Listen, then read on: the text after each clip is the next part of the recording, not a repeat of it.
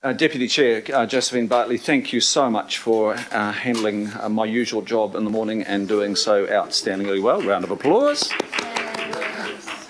No, it's um, thank you, um, and I'm sure we've got a lot of satisfied local boards uh, who have managed to air their case, um, and we'll listen to that. Thank you. Um, members, we'll now go to item nine. That's the downtown car park strategic tra transport outcomes. So I'll move accordingly. Mayor, would you second? I would be happy to second that. And the Mayor will second, so that's on the table. Um, members, we've canvassed this on a number of occasions. Last year at Planning Committee, um, Councillor Simpson's Finance and Performance Committee, uh, where the general direction to look at disposal was undertaken. Um, we've um, uh, now we've since looked at planning committee at um, a range of strategic outcomes, excluding the transport outcome. We came back to planning committee uh, of recent, um, and we were not satisfied with uh, uh, the, the direction of travel, so we adjourned that item um, and are picking it up today. A lot of work's been done in between, and I'm confident now from reading the report and uh, doing the work behind the scenes uh, and talking to a lot of other parties that it's landing well. I will now hand over to Ross Churnside. I welcome um, David Rankin, the Chief Executive of Eke Panuku as well. Um, is it in David's hands? David. Thank you, Chair.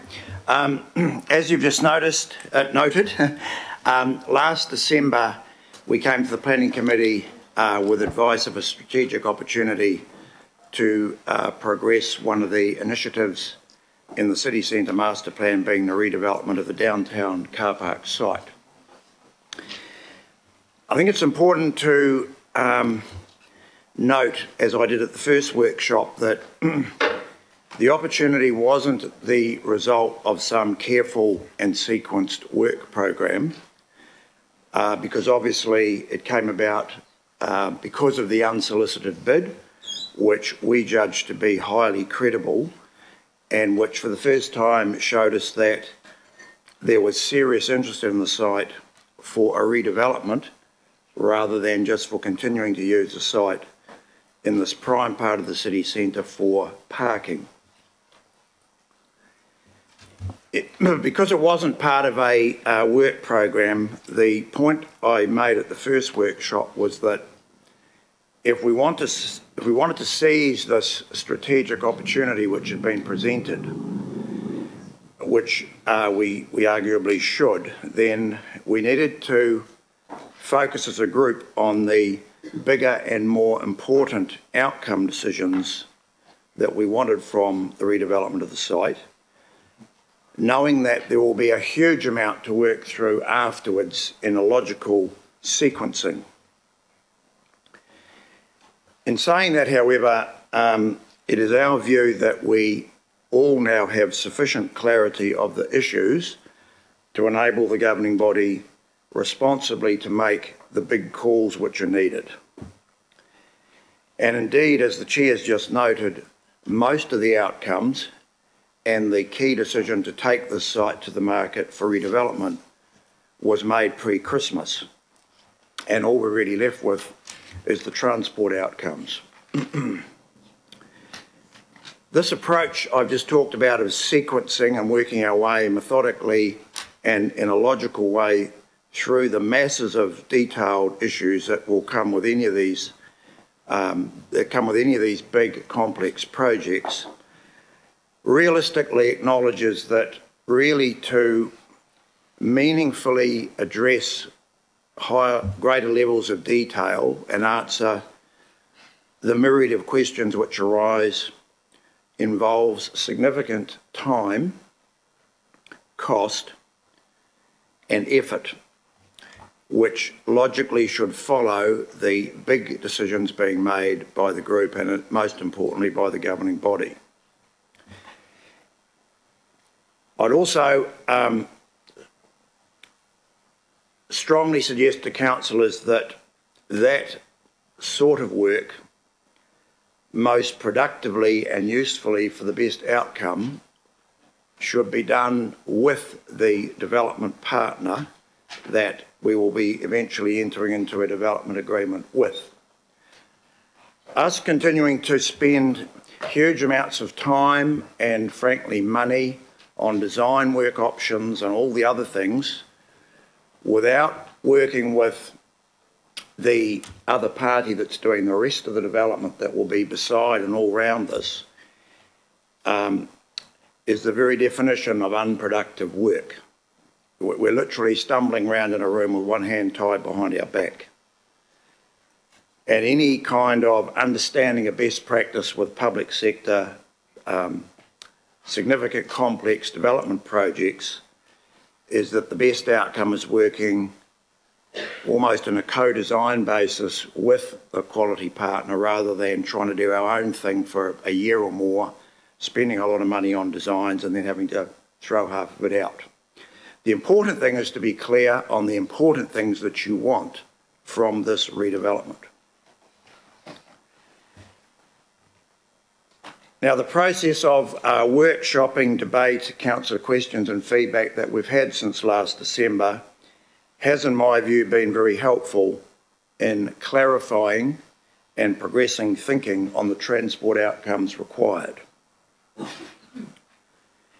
And so where we are, as summarised by the report you've got today, um, is ready to focus on three key transport issues. The first is the requirement for a flexible multimodal transport hub of around 3,000 square metres to support public access to micro-mobility, including end-of-journey facilities mobility parking, micro freight distribution hub, uh, and similar. The second uh, key issue is that um, instead of prescribing a minimum number of short stay public car parks, we will simply indicate to the market that we are specifically seeking proposals on that as part of their overall package. And we say that with uh, a level of confidence that we know that players will be presenting numbers of short stay public car parking. The third thing which is dealt with in the report and is really the main focus of the report is the bus facility. Now, the report is really making three key points about the bus facility. The first is that it articulates better than you've uh, had before from us the fact that there is a bus problem. And that that bus problem is going to keep growing given the Council's strategic commitment to continuing to grow as much as we can passenger transport into the city centre as the primary means of people coming here and as part of our commitment to address the challenge of climate change. So frankly, the big order decision today about the bus facility is do you want to use this process, this opportunity, to help solve the bus problem? It won't solve it by itself, but the report is arguing clearly a real contribution to a real problem. Then the second thing is that the report is presenting two concepts that, based on our work, could help address that bus problem.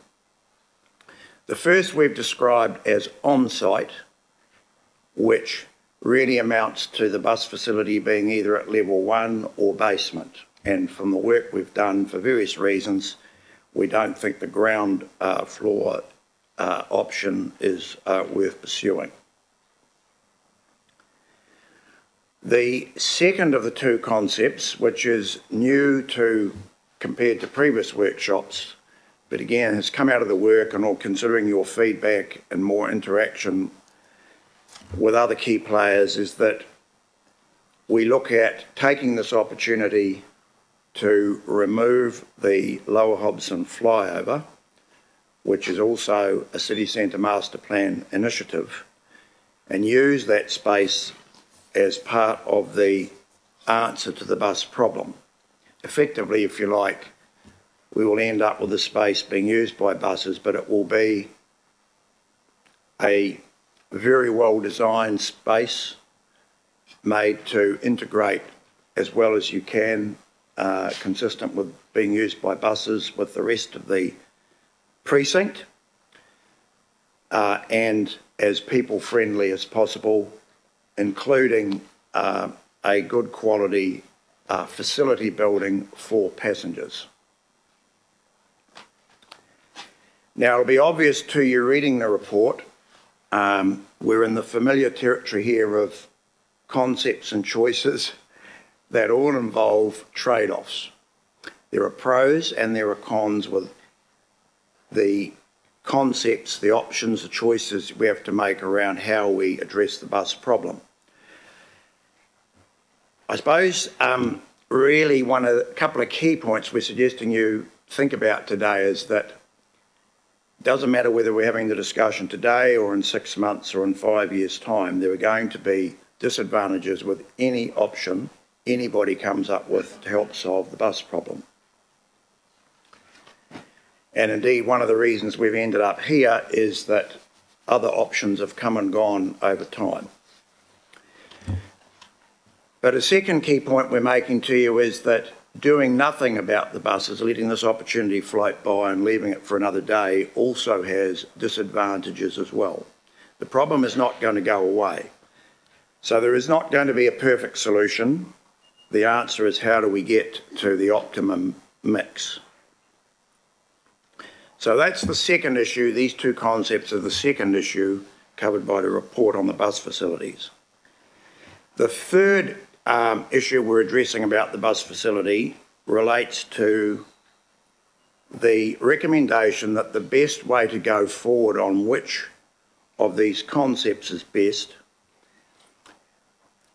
which how we can best validate our current assumptions about the pros and cons, how we can add to our knowledge, uh, should be by us progressing uh, a market engagement process.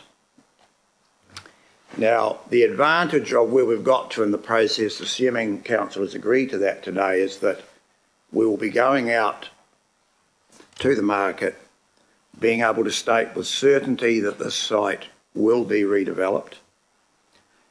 We'll be able to state with clarity that we do want a range of outcomes that are important to the group that we do want a bus facility as part of the set of outcomes and that we're really seeking proposals and thinking on the optimum way to address the mix of design, strategic, city development, transport and financial outcomes that we are wanting as part of the mix from this site. So to finish up, councillors, if I perhaps go back to where we uh, started this process,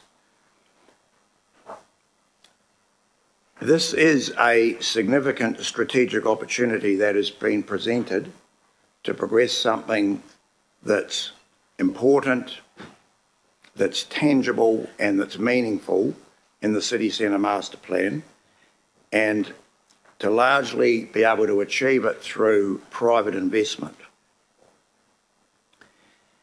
This is the prime remaining central downtown redevelopment site,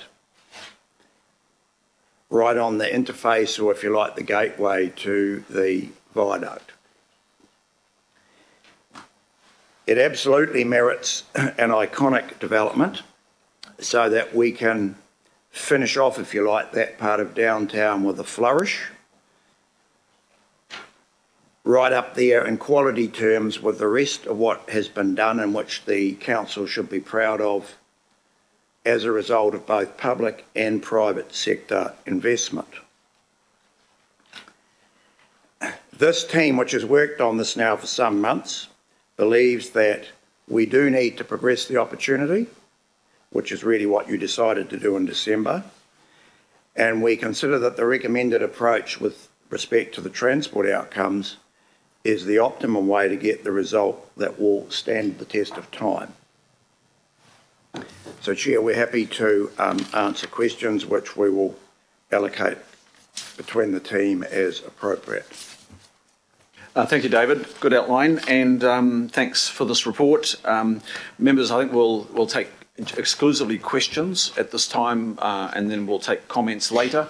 Um, now, first of all, I'd like to explore the questions uh, raised in writing, and thank you to the councillors who who sent through questions in advance to the team. Uh, Councillor Coom, I, I, wouldn't mind going to, I think you did receive replies, but you've got one further question at least. Um, and would you like to take this time now um, to just outline your satisfaction or otherwise with the initial replies and uh, um, put your next question on the table, please? Thank you, Mr. Chair. Tēnā koroa. Um, good to see where this is landing. We're probably at the place we should have been with development experts and a strategic approach right from the beginning. So really pleased that we're we're getting there. Um, I do have a few questions, a couple just around the the development, and then a couple that are procedural. Um, first of all, in terms of bus facilities, the report doesn't define what bus facilities are. And a bus facility could be a bus station, it could be a bus de- depot, it could be layover. Um, so I just um, I have proposed to the chair that that be defined, but I think if we could get real clarity around what a bus facility is, because we all probably have different presumptions. That's my first question. Maybe uh, we thought you made a good point, Councillor, and we thought it was also fine to incorporate that into the uh, resolution. We thought your definition was was fine. And well, Ross might want to speak to that because it was actually his his definition. Um, yeah. Well. Yeah. yeah. So, what do we mean by a bus facility? So, we mean some space, you know, for short-term layover of buses when they're between their journeys you know, some, you know, charging as we move the fleet to electric, you know, seating, seating areas for passengers and also where they are able to get um, information around, you know, next journeys, and um, potentially, you know, you know, in a waiting sort of space, waiting room, you know, bathroom facilities. Thank you. Um, I think that really needs the market really needs to understand what we're expecting. Um, the second question is it doesn't it's not clear in the report that if there's two options, the on-site or the on-street, on-street removes the flyover, which is a long-term aspiration of the city centre master plan, but it's not clear that that's also still possible if we go ahead with the on-site option. So it doesn't um, mean we can't remove the flyover. It's a separate project. So I just want to make that absolutely clear because we don't want to lose sight of that aspiration in the city centre master plan. That's right, councillor, because it's quite possible that if someone was looking to put the bus facility on site, they would use the other space for some, some other part of the development. So we will be going with the two concepts. You're correct, they're not necessarily mutually exclusive. So if we do on site, we could still, the flyover isn't, it's not dependent on the flyover being there. It's possible someone would come up with uh, an option purely to put it on site and not do the flyover, but it's probable that from the from a development perspective, it would be best to have all the space. So the um, the expectation we have is that the bus, the sorry, the flyover coming down would be the probable outcome of our discussions. Right, but that's only only the on-street option that's clear in the report. Uh, what I'm saying is it should be not be precluded that either option we progress with the market, the flyover can still be removed. Yeah, that's quite right. Yeah. They're not mutually exclusive and Great. we've, we've been careful in the languaging not to present them as a kind of either or. And in fact, it's important we can go to the market and talk about both concepts because someone could well come up, probably will come up with hybrids. Um, and I need to ask on behalf of the Waiheke Local Board, when we had the previous report, they raised with me that their views weren't incorporated into that. And we did ask that their views would be in this report, and they're still not there. So I just wondered what discussions have happened with the Waiheke Local Board, and as part of this process, um, they very much want to have their input as well.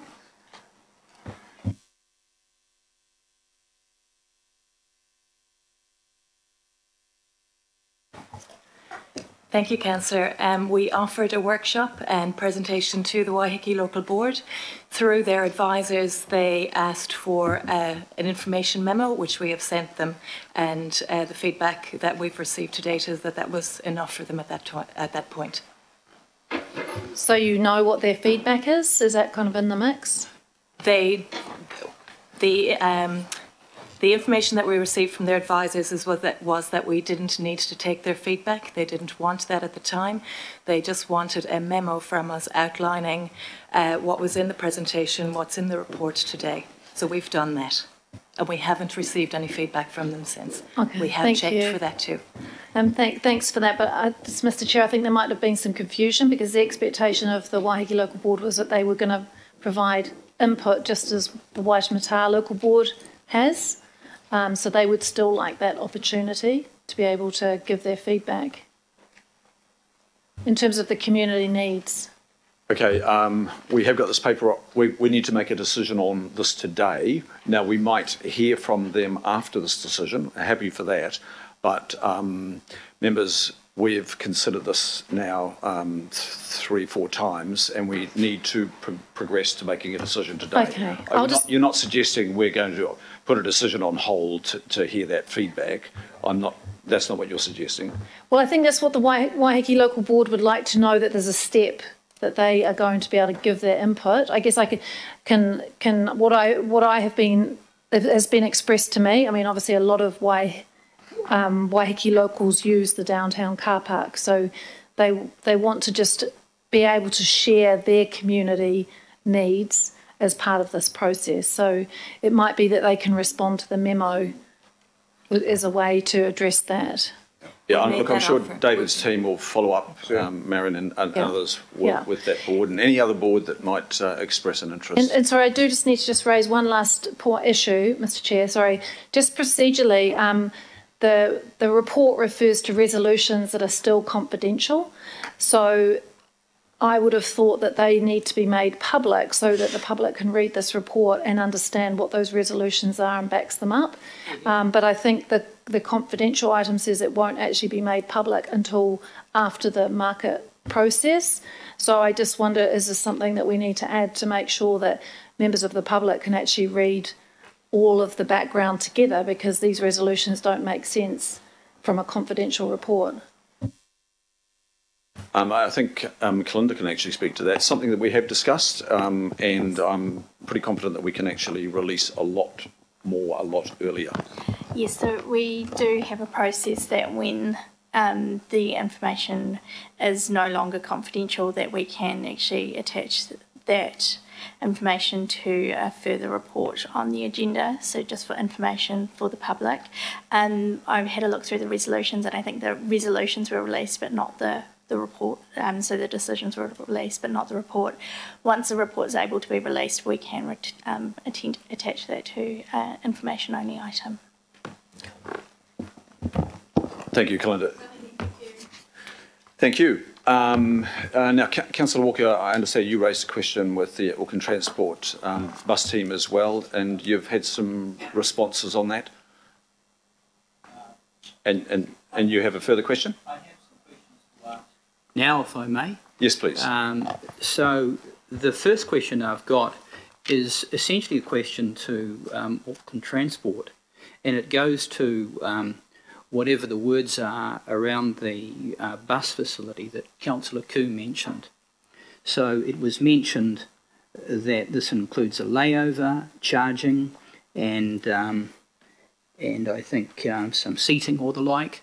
Um, my, my question is that I thought from Auckland Transport, the fundamental thing around this bus facility was around taking the buses off the off the street, or at the very least generating significant efficiency, so we didn't have kilometres of um, of um, bus uh, travel and clogging the streets. And if that is not in the specification, I've got a concern, and I'd certainly invite Auckland Transport to um, respond to that.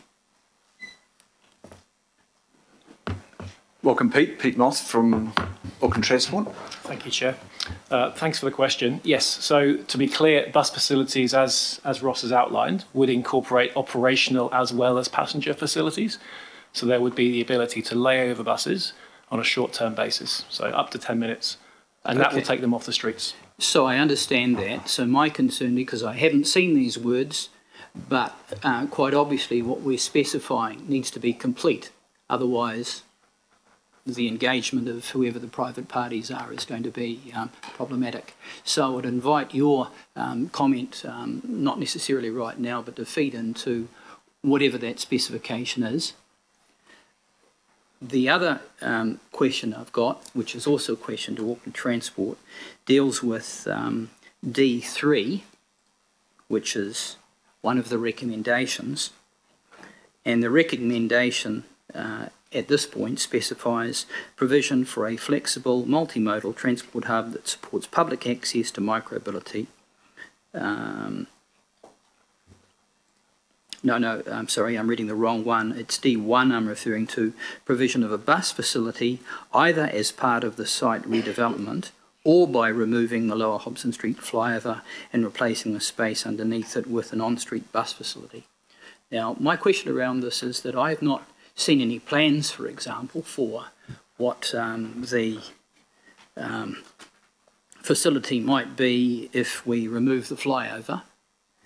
Uh, Obviously, there have, has been some preliminary planning for the um, facility that's in the building. I would have thought it would have been better for us not to be so prescriptive because there could be a hybrid model, for example. I can't second guess that.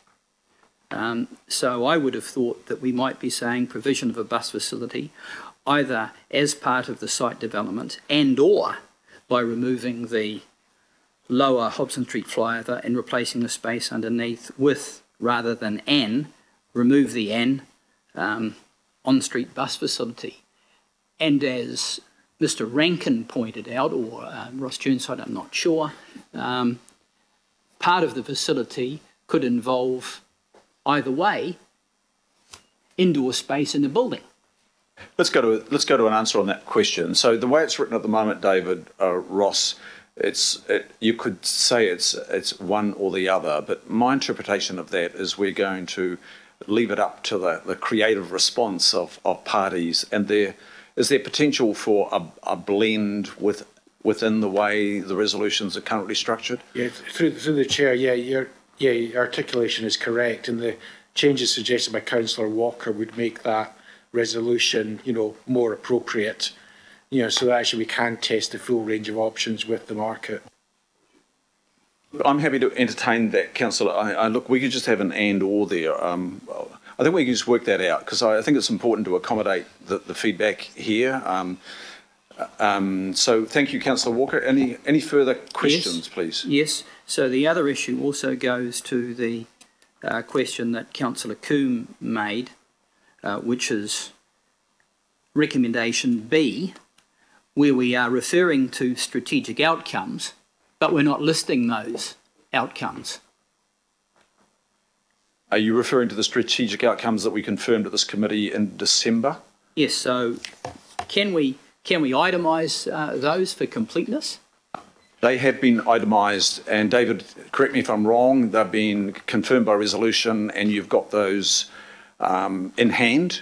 Uh, we've gone through those, so we're only dealing with a transport strategic Um, outcome at this meeting. Through you, Mr Chair, we're moving item B, which specifically mentions strategic outcomes. Those strategic outcomes are highly strategic. They're very important. It's what this is about.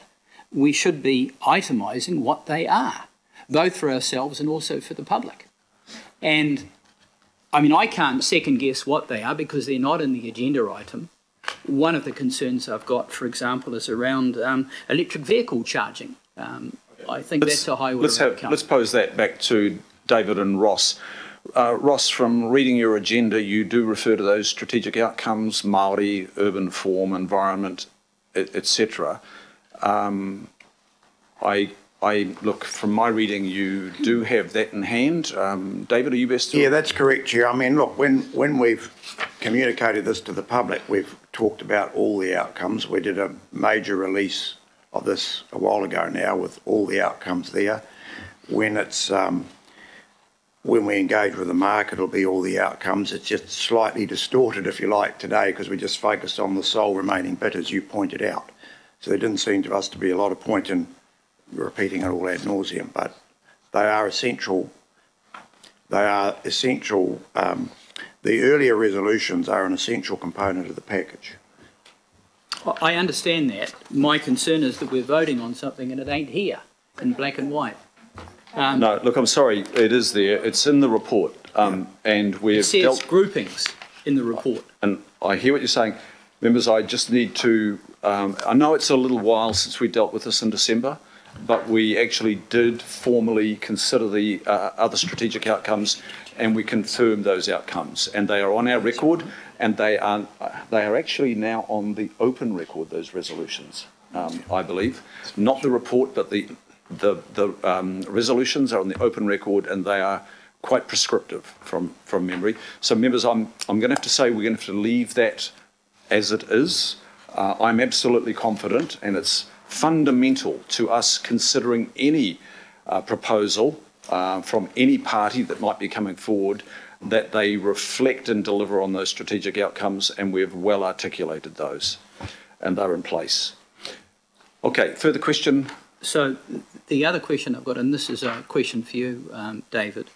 Um, we're going out to bidders. The bidders that are coming up with uh, proposals obviously have to be reliant on the information that we're um, providing. They're going to be coming back with um, um, options. You mentioned there's going to be an expression of interest uh, process first. Um, conceivably, we could have a situation where you've got a, um, a proposal from one bidder that has got merit, a proposal from another bidder that have may have merit. There may be variations. We may want to um, pick up on some of the things that a particular bidder has um, put up. How are we going to um, resolve that process so that we actually have um, access to the intellectual property, if you if you call it that, that is arriving from these bids, so that we can arrive at what the best design is. David, are you answer, able to answer, please? Uh, yeah, and I might get Alan Young to help with that. But I mean, look, the way these processes run is there's there's a huge expenditure for some party to get to the level of detailed design, and we will have arrived at a preferred party well before we get to that point. So it's unlikely. Um, well, do you want to? Uh, I can't really add much more than what David has uh, articulated in regard to our uh, three-stage process in regard to pre-market engagement, where we'll be seeking what, as that term articulates, is what is the response to these options that we are taking out to the market. That will help inform our expressions of interest process. So we will be responding uh, particularly to how the market is viewing these options, and then we'll be moving forward. Uh, to come back to various options that we will receive, um, we deal with this on a constant basis with the bids that we're receiving on other properties. There is an appropriate process where we are reflecting as a group on this particular case in regard to the design outcomes. Uh, to come back to the point, we are very clear as to what we're hoping to achieve and weigh up against the City Centre Master Plan with regard to those high level strategic outcomes. And of course, as uh, David's articulated with regard to the bus facility, we may well end up with a hybrid basis to which we'll work through. So our processes uh, are built in um, to take into account that we will have various um, bids as we come through. So, so how do we how do we pick up on the We can't just pinch people's intellectual property, councillor. So I mean, um, and bluntly, um, so we have to make judgments against the outcomes you've set and what's the best overall mix. But I do note that in general, you get more into the intellectual property stage when you start moving further down the path of, of design. And um, that's not a stage we're going to get to with um, many parties and probably, possibly, quite probably only with one. Because it, there's an immense cost on a, si- a project this size getting down to the, you know, paying armies of, uh, uh, of architects to uh, design a, a, a, Yep. a big thing like that. Okay, this. I think we're going to have to leave that there, gentlemen. Um, Councillor, we have to rely on Eke Panuku. They are skilled at this work. They've been doing it for a I've long time now. answers, Chair. Uh, and there are strict criteria, including our strategic outcomes, to score any proposals by. Um, now, I need to go to others, And Councillor. one other question. No, I'm sorry. Okay, well, I'll, Yeah, I'll ask the question That's later. why I've got eight councillors wanting to ask questions, and everybody has to have a fair opportunity. Thank you. Uh, Councillor Sayers, please. Uh, thank you, Mr. Chair. Mr. Chair, when you weren't here, I made an apology that I need to leave around about three. So, so thank you for taking my question, or three thirty.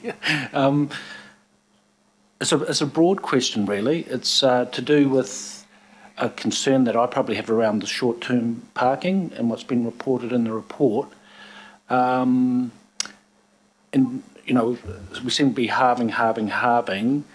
So I, I think it's probably more asking for some sort of professional advice or professional opinion um, about around the numbers that that uh, are required. And I guess part of my concern is the investment that we've put into the Viaduct Basin, the number of visitors that we're trying to get down there, as well as in, uh, you know um, the city centre in general, and people not being able to get there by car and have short-term parking to um, for us to capitalise on that investment. So, is, is there any general comment you could make uh, just to alleviate my concern there?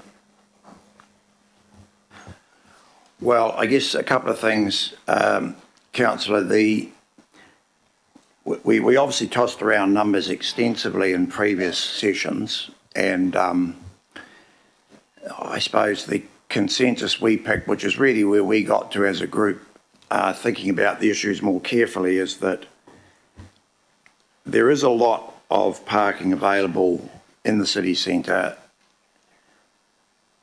The main uh, strategic purpose of the council is to have increasing percentage of people coming into the centre on, you know, other than individual cars. But in any case, we are confident that any of the developer parties will be proposing to put in short stay public parking, and we're going to be making that one of the specific parts of the proposal process. So the worst that's going to happen, or the worst or the best, depending on your philosophical point of view, is that there will probably end up being a reduction in the quantum of short stay public parking. Um, but there will be a credible amount of short stay public parking, and there are plenty of other options. Thank you. Um, Councillor Sayers? Yeah, thank, thank you. I guess uh, um, probably to remind us, because I have to leave, uh, Chair, I'll just, um, just, but you could nod or not. My understanding we're going from 13, then we looked at 700, and maybe we even look at half of that. I get that. My concern is where do we land between the, say, 450 and 700 mark is my, um, is, is my major concern. David? There was a there there was a debate that um, generally generally the consensus we got from councillors was to question the need for the same level of short stay parking that's really a, a legacy feature of how the city centre used to work with most people coming in in private vehicles. And so when we reflected on that and you know discussed the issues more carefully ourselves, we were comfortable that we don't need to have anything like the current number there, but we do need a credible um, number, whatever it turns out to be. Uh, and, and that's just something we're going to have to work out as we go through the process with the developer. I mean, it will obviously be in the developer's interest to provide short stay public parking, and it is going to be one of the criteria that we will have in assessing the proposals. Uh, th- thank you for the answer. Thank you, Chair. Thank you, Councillor Sayers. Councillor Sayers, if you do need to leave and if you need to go back to the office, we can give you a Skype facility to stay participating if you need, okay? Thank you. Um, Councillor Casey, you have a question, please. It's just a simple one, David. Um, access for everyone is, is looking to make it easier for people who have disabilities to get around the city. And that would include being, this being... Um, You just pull the microphone Oh, over in front, please. Thank you. I'm looking for the word accessibility somewhere in this brief, and I'm not finding. All I'm finding is um, parking for um, people with disabilities. Where, where, where in the brief are we? I'll tell you what's bothering me, David, and you can answer this. The buses in in most of these um, premier transport hubs go downstairs and the people go upstairs. That makes a difficulty for people who already have a, a disability. Is that, are we limiting at all, at the moment, are we limiting where the buses go and where the people go in, in, in this initial brief? Or is that still to come out in the designs? Where do we say we want it to be fully accessible? David. If it's an add-on, sometimes it becomes too Andrew- expensive. Andrew Allen from like, Auckland You know, further down the track. If it's in at the beginning, I'd be a lot happier to, to see it somewhere.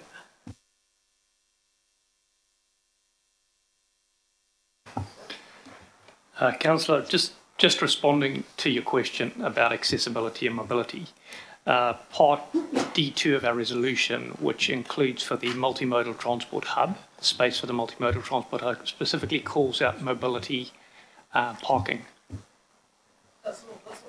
All I've seen, uh, it's not just about mobility parking, it's about accessibility, being able to enter, get around, find your way. And what I'm worried about is if we don't have the word accessible in there. Yeah, um, I think uh, that's a uh, good point, councillor. Let's, let's um, perhaps if, if Andrew and Ross get something appropriate in there.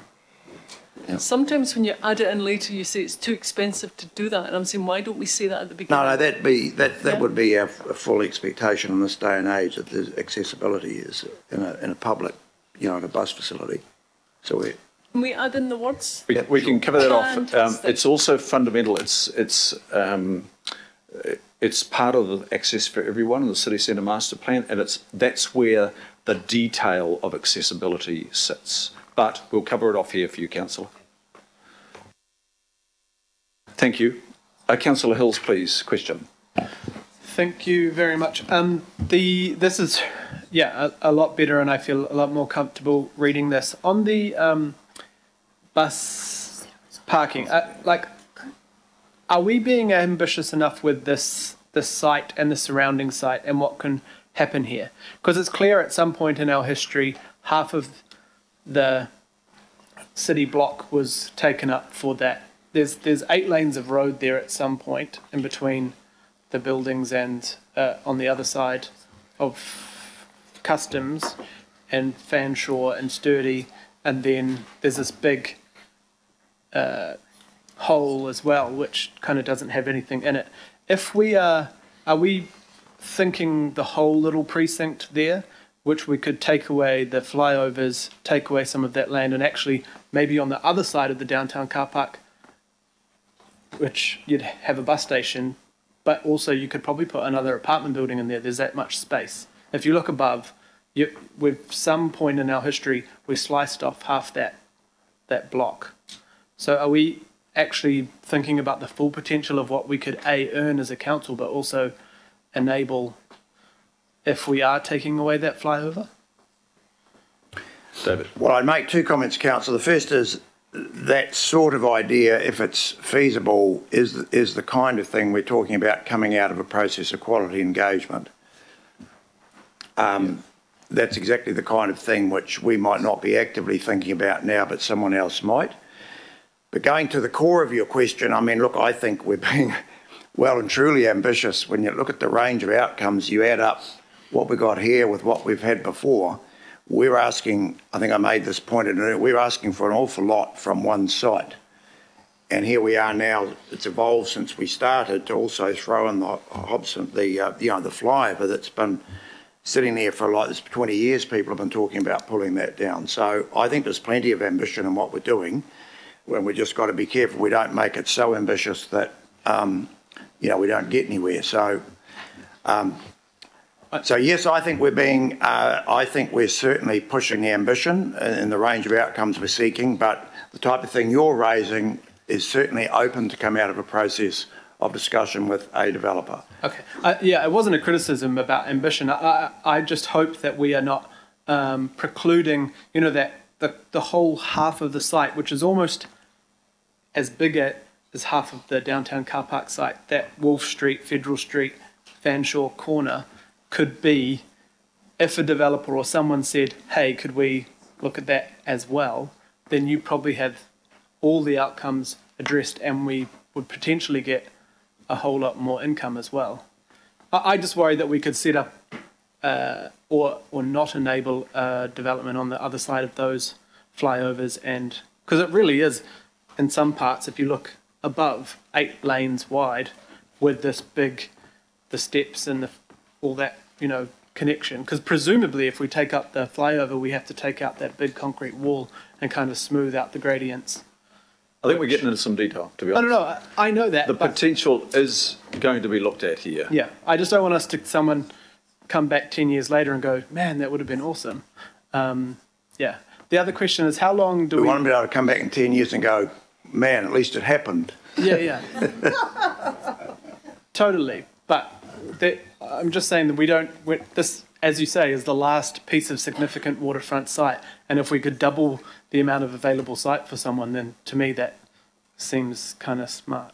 Yeah, and look, that's why we've had the, the discussion led to the point of let's go for it and put the flyover on the table. Yeah. Um, how long do we think, and this is a question uh, based on, because of people's concerns with the car parking, this whole site, once under development, is it between four to five years we will not have access to it in a car or a bus or a, anything, presumably? Um, it's a, it's, it's a fair way down the track before we know the answers to those questions, councillors. I mean, everyone knows that a construction project of this magnitude will unfortunately involve disruption to parking and road patterns again. There's no way around that, but just how we best manage that is, you know, and that sequencing I talked about, that's some way off and would definitely need to be with the developer. Yep. Thank you. And uh, kia ora, member Liane Ngamane, please.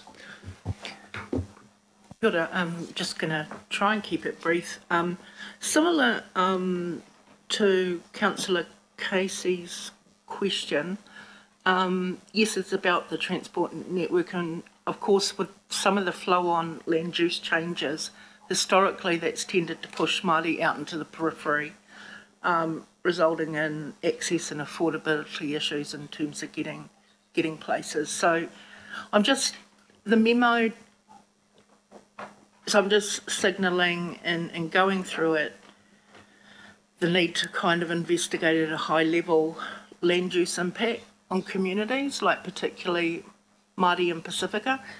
The memo doesn't preclude that from happening, does it? No, but at the end of the day, if we think about what's happening here, we're taking a chunk of the city centre that's um, an ageing car park structure and another piece of the city contiguous to it that's got, um, you know, the overbridge on it. And we're, cha- we're changing it to be a space that will be in keeping with, you know, the next 80 or 100 years of the city. So this is a different set of issues from, if you like, some of the more complicated gentrification questions that I think you're alluding to that are often part of, you know, moving into an existing residential and potentially displacing people who have been there. That's not really arising because, as I say, this is this is a pretty this is a piece of city that really reflects our past, not the future. And there will be a new residential community here, but we're not displacing someone that's here at the moment. No, no, but yeah, I was referring to the ongoing consequences of it, but yeah. Um, and I just note that there was a comment around a plan to work with mana whenua to identify partnership opportunities. Again, the memo doesn't preclude that from occurring and enables that from occurring and would just be keen to understand, if at all possible, like what you have in mind around that space. Sure. So fundamentally, which is a normal part of our work, we look at that in two ways. I mean, one is there's the commercial opportunity, although this is a huge scale, but uh, mana whenua were advised by us in February um, that the council had uh, decided that this site will go to the market and we um, indicated we would keep in touch with them, particularly once today's over, you know, once the outcomes are set. So uh, iwi will be free as uh, either in their own capacities or by teaming up if they want to be involved somehow in the development proposals process. Um, and, we, and then the second thing is the um, fantastic opportunity there'll be in this development, as has been the case in the waterfront or commercial bay, to articulate um, uh, the Maori narrative of the, of the place. And I mean, I suppose the best way to describe what we'll be doing is a version closely modelled on what happened with the Aotea station uh, overdevelopment, where Maori design narrative uh, outcomes were brought in right at the start. They're a requirement that will be built into the development agreement. Um, so we will be using an appropriately amended version of that for this, and it, it will be a fantastic opportunity to do it. It'll be one of the great outcomes of repurposing this part of the waterfront. Tapai. And just, I guess, probably just a comment just with the um, impact statement. The IMSB chair is still on the ATAP governance group. Thanks. Uh, thank you for that reminder. If there's any omission there, we'll uh, cover that off. Thank you. And uh, Councillor Simpson. Thanks, Mr Chair. I'm just, um, I want to note that I did send my questions through and they haven't been answered. So anyway, um, look, I just want to ask some real quick questions, David, um, because this can be very hard and take a long time or it can be quite simple, right? So question one, this is not the final decision, right? Is this it? is where you're finally deciding the transport outcomes and you have decided all the other outcomes. So, for example, if we don't know how what the parking is and we don't like it or whatever, that's this is this is this is the time to say I want a specific number or I don't. I mean, I, we haven't got the evidence. So, it, it, what, with regard to the specific, this is the general transport outcomes, but it's not the specific around it, or is it? Well, when we say the evidence, I mean, we, we, we sort of, we've been through that process of wanting more and more detailed information about parking, but at the end of the day, where does it sort of take you? So what, what we're saying is we're going to the market on parking and a specific part of what will be requested was, is what, what the developer is going to do with short stay parking. Okay, so if we didn't like that, is it too, too, too bad? If you, if you want a minimum number, today is the time you have to set it. Right, okay, thank you. Uh, so, and, and perhaps just in the spirit of your question, we will obviously, at appropriate times through the process and consultation of the chair, be coming back workshopping with you where this is all heading.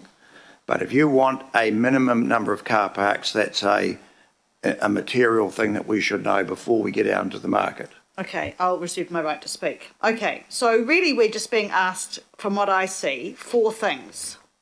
One, that we need to have a bus facility. We've all agreed that we need to have a bus facility. It was going to be in Custom Street and it was going to be in Quay Street and now Britomart and now it's potentially going to be here. So um, we kind of got to agree to that one because we know there needs to be one, but we're just trying to define whether it should be in this this place or not. Correct.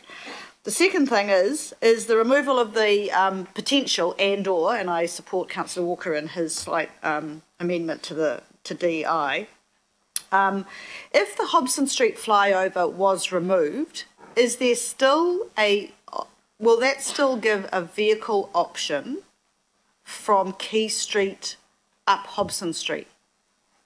Or will Quay Street end at the set of lights at the bottom of the flyover? Back to Andrew Allen from Auckland Transport. Um, Quay Street effectively, well, uh, to answer the question, if you're travelling in a vehicle and you want to get up onto Hobson Street, you're going to have to use the network that's currently in place, i.e., probably Custom Street West, Market, and the like. You're, you're not going to be able to obviously use the flyover, it will be gone. So you're not going to be able to go east west along Quay Street, you'll have to use Custom Street. Is that correct? Pr pretty much. Okay, I just wanted to know that. Um, the I asked the car parking question. Um, is there a process now? Because I agree with Councillor Coom. Um, the Orakei people visit the central city and spend in the central city significantly. Is it an opportunity? What opportunity do they have going forward to be involved, or to hear, or to have updates, or whatever about this project?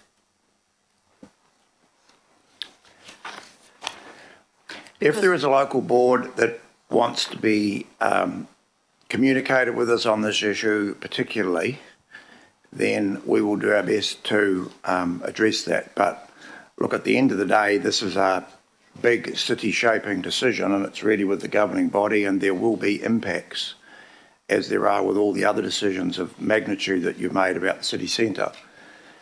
Um, the the amount of parking that's potentially not going to be available as a result of this redevelopment is pretty small in relation to the total quantum of parking in the city centre. Um, it's not like this is the only place that people can go.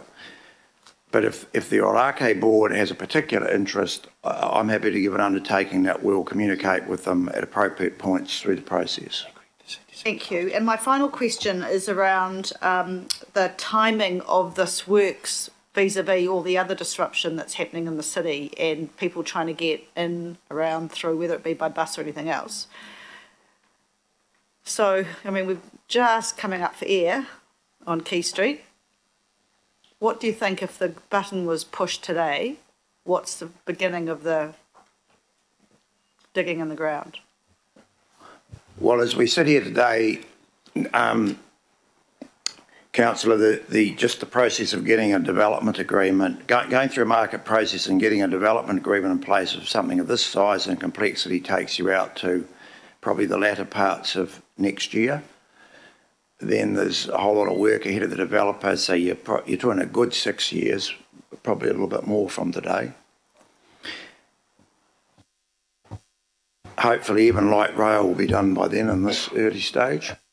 The CRL will be operational and yeah. Um, and just this the last, sorry, one more. Uh, around the um, buses, so you're, where will we be with our electric buses? Um, I'm just worried about, we've got all this nice green, you know, nice open space and we're worrying about the black carbon and Queen Street. Are we going to have a whole lot of diesel buses idling outside the tepid baths, potentially, when we've just gone to all the trouble of trying to fix the um, yeah. Queen Street. So I can have a go answering that. Uh, so the current plan is that we will have the entire fleet in the city centre electric by 2030 and half the fleet by 2025.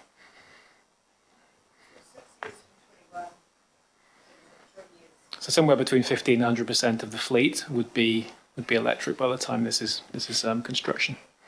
Okay. And Pete, um, just before you go, you, you have um, Auckland Transports. Uh, they now instruct operators to its motors off after a couple of minutes or something.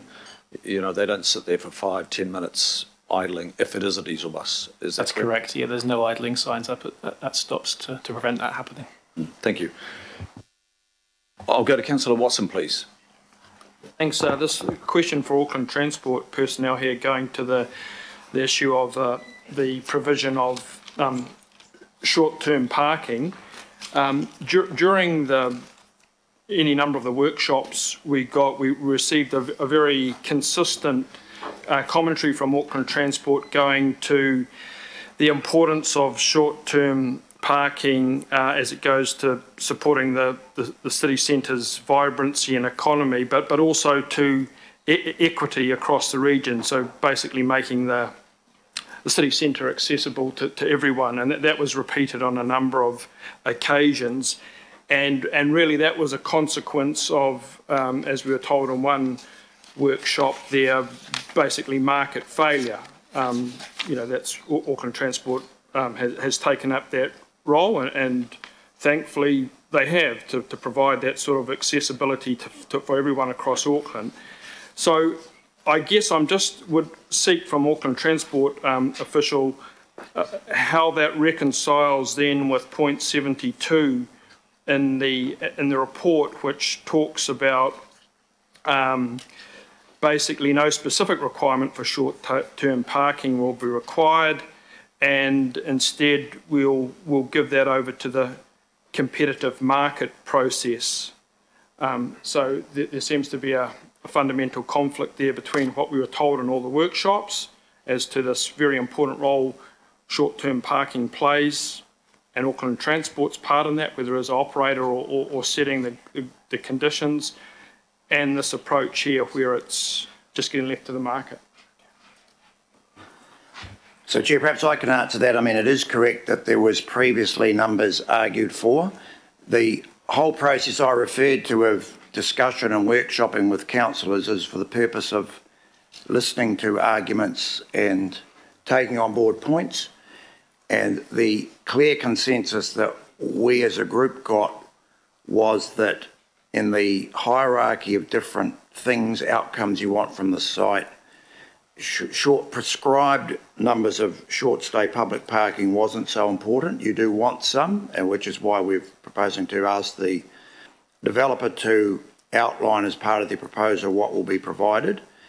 But the judgment the group has made is that um, we shouldn't go out with a prescribed number, and that takes into account what we believe is the feedback from earlier workshops.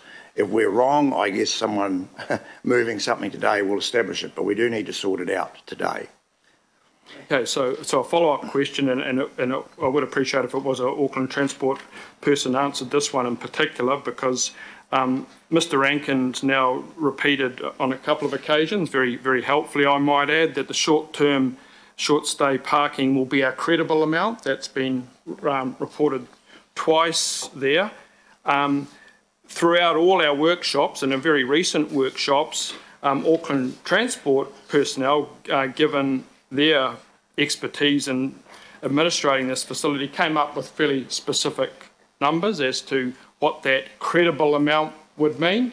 So I would thought if, unless it's just going to be left entirely open to the market to come up with some number, I'm assuming that Auckland Transport will inform that credible amount that Mr Rankin referred to, which we've been given pretty precise indication as to what it is, 400 to 700 spaces, which is about half of what is currently available. So the simple assumption I've got, I assume other councillors have, if we're going to a credible number, It'll be our exports, expert, or, or exports, our experts and Auckland Transport that will be providing that information. That's, that's what we've had in every single workshop that we've received on this matter. Okay, question, and I'll ask Andrew Allen to respond, please. I just want to make sure I actually understand the question, Councillor. Sorry. Uh, I think the question was, will Auckland Transport be involved in advising around the credibility of the number? The answer to that is yes.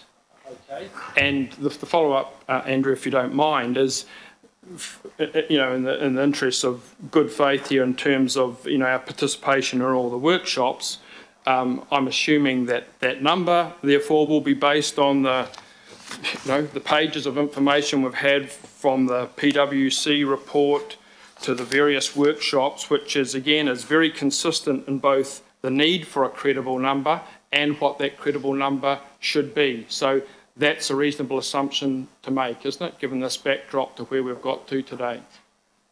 Andrew, can you address that question? But you, I think you need to preface that we've travelled a long way on this. We've had workshops, we've had discussion, and we've been trying to arrive at a point of consensus. So there's been some political inputs into where we are sitting today in this report. Um, can you, point of order, please? The question was directed from a councillor to an officer, not by yourself. Thank you very much. And I'm, I'm guiding the office. No, I, I have this right as your chair, and this, the question will be responded to, and I'm asking the responder, uh, Mr. Allen, to also reflect on what's happened since those early workshops. I'm not sure whether that might sit with um, Andrew or or David. Well, Chair, um, I, Mr. Allen and I have the same point, the same perspective, which I articulated before, and you're quite right the, there's no, there's never been a magic number. I mean, no one's ever tried to say to you there is a magic number. There is a judgment to be made here about how much short stay parking is in this site versus all the other options there are in the city centre. And there are all sorts of numbers quoted th through the workshops, we've taken on board what we think the majority of you told us. So there's credible doesn't translate to four to 700, otherwise we would have put four to 700 in here. It means more than 50 or more than some derisory number. It needs to be, you know, we'll, we'll know it when we see it in the context of the development, when we see the full proposal. Thank you. C- Could I have another shot at asking Mr Allen a follow-up? Maybe he could answer the question this time. Supplementary from you, Councillor. Yeah, so um, that um, explanation just um, heard then um, isn't, with all due respect, isn't quite in keeping with um, workshop after workshop which we've had in terms of what a credible number would be. Um, and herein lies the problem, is, and Councillor um, Simpson has alluded to that today, is where we're going to give uh, our, our approval or otherwise to this today. There has been a very clear and consistent indication as to what a credible number would be for this very important equity issue to do with the provision of short stay parking that goes to all our communities across Auckland at this very, couldn't be more important location.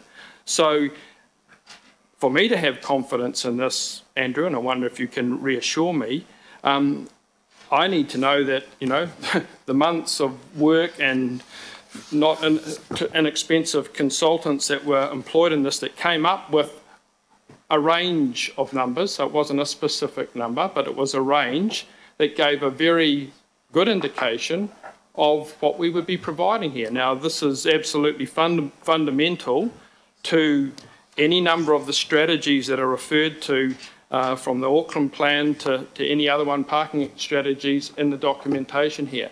So I could just ask you, uh, Andrew, if indeed, in, in terms of the expertise that exists within Auckland Transport, that that range of numbers, if not a precise one, is the one that has informed us throughout this process. 400 to 700. Andrew.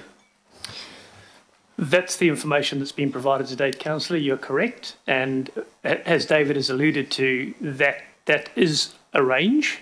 It's not an exact science. It's based on a number of assumptions. And so credible is probably something that alludes to that order of magnitude there or thereabouts. And my final question, Mr Chair, is that that specific number is considerably down on the current number of sitting around about 1290. So the number that we have uh, discussed in the workshop is in itself almost half what the current figure is, which I think is a, a significant point to note here. I'm correct in saying that, aren't I? Or just you can. How about you convey that as a comment? We're not. We're just in questions at the moment. But that was a question. It was a pretty precise question, actually. Even I don't mind patting myself on the back, but it was 1290 down to conceivably as low as 400. That's a big drop on our current. Yes, thank you. Thank you, uh, Councillor Fletcher. Councillor Fletcher, you with thank, us? Thank you, uh, Mr. Chairman, and my apologies for not being there in person because this is such an important issue for me. Um, but I had a second shot of COVID and it's left me with quite a high fever today. So I'm trying to be as coherent as I can.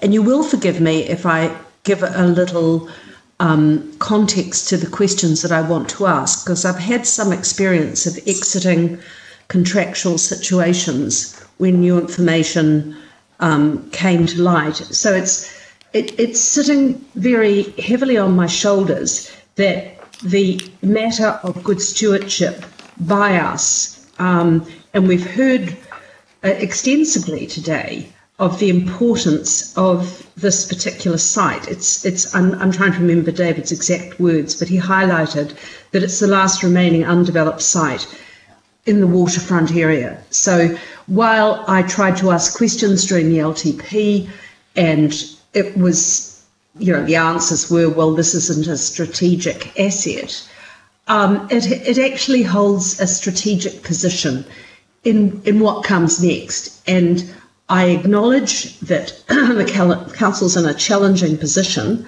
However, um, we've also got to look to the future, as David is encouraging us. So I'm I'm really trying to grapple with what is actually in, in the strategic interests of Aucklanders moving forward. And this is a very much better report than the one that came um, where the meeting was adjourned. I think it was early April. I can't remember now, but it was before Easter, I think.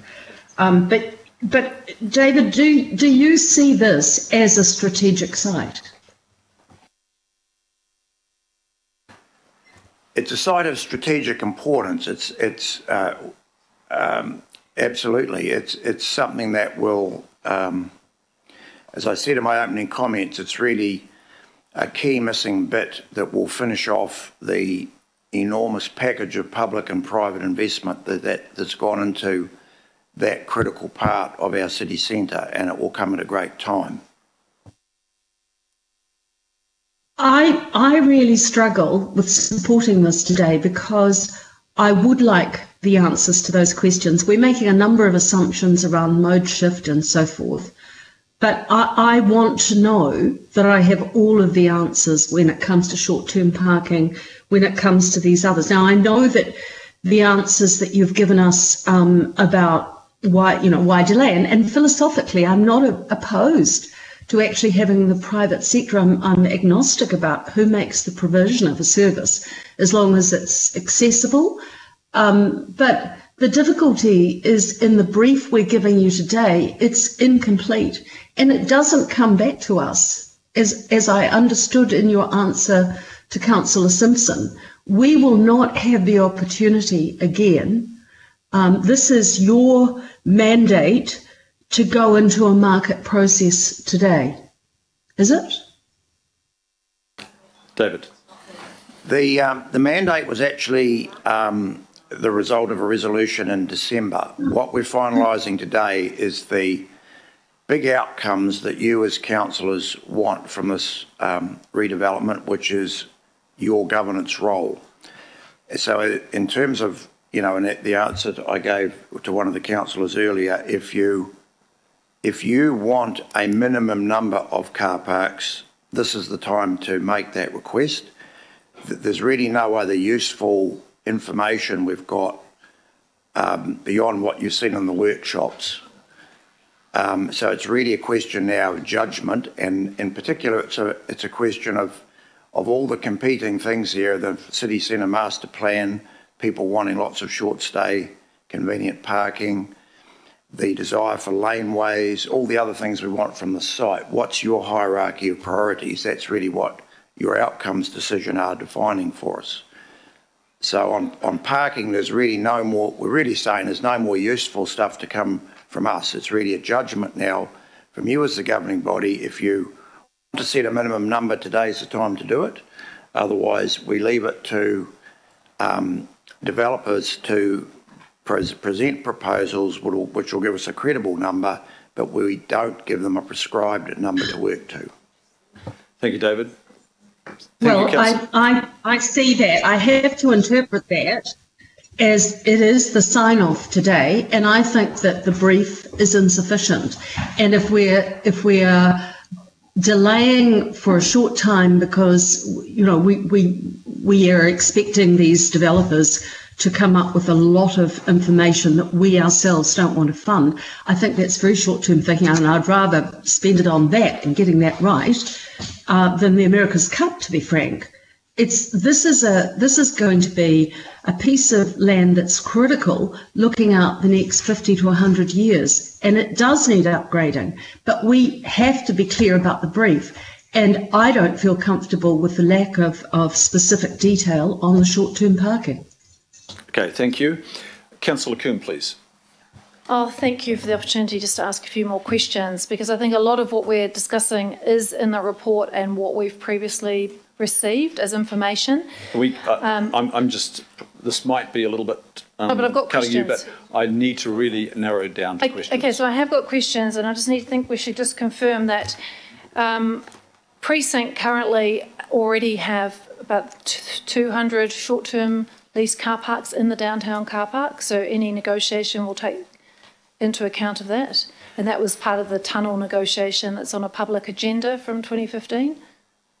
Precinct have had a contractual commitment to parking which was revised at that time but actually pre-existed that.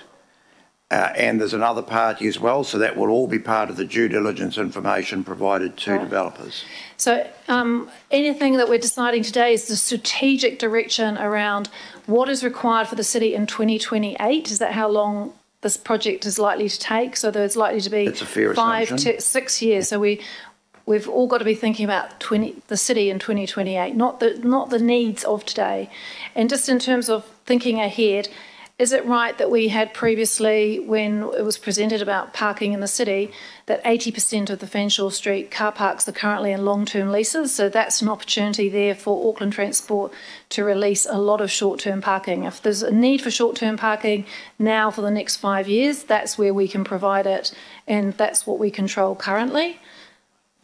I think I've, I think Andrew Allen's put that in a memo to me that's going to go on the agenda for the planning committee at some point, but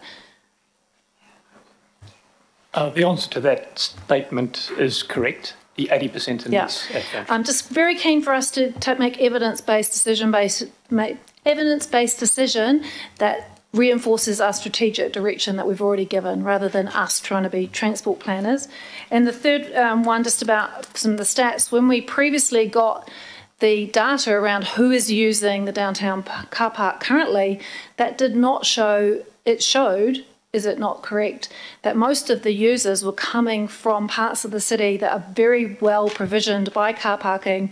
Huge numbers were actually from the Mount Eden area, from people who live right on the Northern Express busway. We had that map that showed where the majority of people who are accessing downtown car park currently uh, they're, they're using it because it's convenient and cheap, but it's not because they they don't have access to other transport options. Is that correct?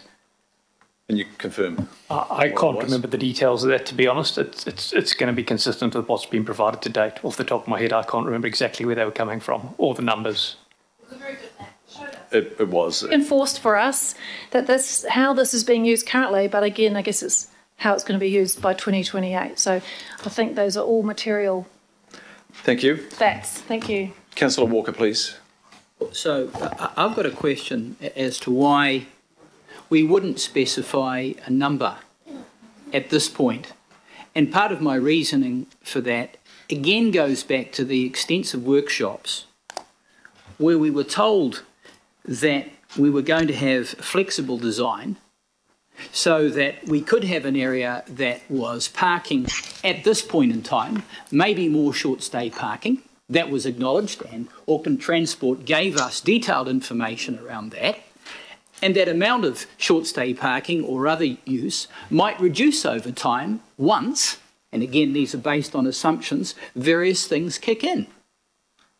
So. Okay, we'll, uh, we'll put that question again. It has been put to you before. Okay, I'm going to say. Mr Chairman, at the risk of sounding repetitive, um, we did have all sorts of information come in the previous workshops and reports. The purpose of that, frankly, is for us all to be listening to each other and to take on board points that are made. We've done that. So today we're saying what we're saying. Let's uh, get a credible number from the market rather than prescribing one. If councillors wish to prescribe a minimum, then today's the time to basically vote that way. Thank you. I have a question, Mr Chair, and perhaps it's most appropriately directed to Auckland Transport, and that is, is it possible to have a building design that allows for flexibility so it could be used for a quantum of short stay parking at an initial point in time and then be changed? Yes, that would be possible if that's what uh, would be important to you as an outcome. And Thank then you. my, my further question to that is if that is the case, then why not specify an That- interim think- amount for short stay parking? I think Mr Rankin has made it really clear. That's a political decision. They've given all the advice at meetings prior, workshops prior, today's meeting, and it's, it's our call. At the moment, we've got the recommendations before us. So I'm going to leave that there. Councillor Hills, please. Just a few quick questions, Chair. Um, the current numbers, the percent, it's about six percent of all public car parks are in the city centre is the downtown car park, right? It's only six percent of the total quantum of public or available. Sorry, all car parks. Andrew, do you have the percentage? I think it was related at at an earlier workshop. We own thirteen percent of the car parks, but I think the downtown itself is only six percent. I, I can't tell you the percentage. We're talking 1,900 odd spaces. Uh, When, when you ask of public, isn't it? all, yes, Okay, so it's about six percent of the total quantum of car parks. What does the unitary plan requirement for car parking in a development in this area of? Zero. So I know there's, um, councillor Walker, we all have to listen to. Please don't refer to councillor Walker. We're just asking questions at this was time. talking around the place. So, so the unitary plan requirement for a development in this area? There's no car parks. Zero car parks. Okay, and the the other thing around um, so the six percent the question, but now I forgot, lost my train of thought. Um, yeah, I'll come back to you if I. Oh no, so we were told publicly that approximately market value for 100 car parks is about 10 million dollars. If we required, if we're requiring certain quantums of car parks, 400, 700, etc., surely that would be mean that would come off the sale price, or we would have to provide that. You know, I know it's negotiated, but high level, we would have to require pay for the- requirement of parking. Any requirement we make that's different from materially or over and above materially what a developer will do will have a trade-off. That's correct. And I've asked this question before too, but no matter what happens in this development, Auckland Transport or Auckland Council are not going to be managing any car parks in this vicinity. It's never going to be an Auckland Transport, Auckland Council car park as part of this development. That's the point where we've reached, yes, the car parking will not be managed by Auckland Transport. So whatever decision we make today, if it's 10, 400, 700, we do not own and run those car parks. Not the car parks, no. Correct. Thank you. Yes. Mayor Goff, did you have a further? Yeah, sorry, I don't want to prolong this. We'll be here at eight o'clock tonight already. Um, but I, I, my first question was really a follow-up to Councillor Hills. Um, obviously, we are discounting the return that we get on the building if we specify the number of car parks. My question is, firstly, can we quantify that? And secondly, um, could we end up actually paying the developer for what he was going to provide anyway? Well, that would be a risk. Um, but, but what I meant by my comment with trade-offs is it goes more broadly than financial impacts because if we tried to load in, say, the thousand odd car parks that were being talked about at one stage, sure, it has, it has significant urban design implications as well because you're starting to load an awful lot of um, stuff onto the one site. And car parking isn't, you know, the most beau- the most beautiful feature in the world of modern buildings. Thank you. I'll, I'll, I'll take that point. I mean, the next question is one that really answers itself, I suppose. How does specifying an increased number of car parks uh, to be put into this development, how is that consistent with the other goals that we set for you of reducing emissions and reducing congestion? David. It struggles. I think that's enough. Thank you. Thank you. I need to move an extension of time, please. Do I have a second, Deputy Chair? Thank you. All those in favour say aye. Aye. Contrary, no. That is passed. Um, David and Ross and um, Pete, Andrew, on behalf of Auckland Council, Eke Panuku and uh, Auckland uh, Transport, thank you. Uh, we're going to close the questions now, and we are we're now uh, got the motions. They've already moved and been moved and seconded. Um, now, I just want to go through these motions, please.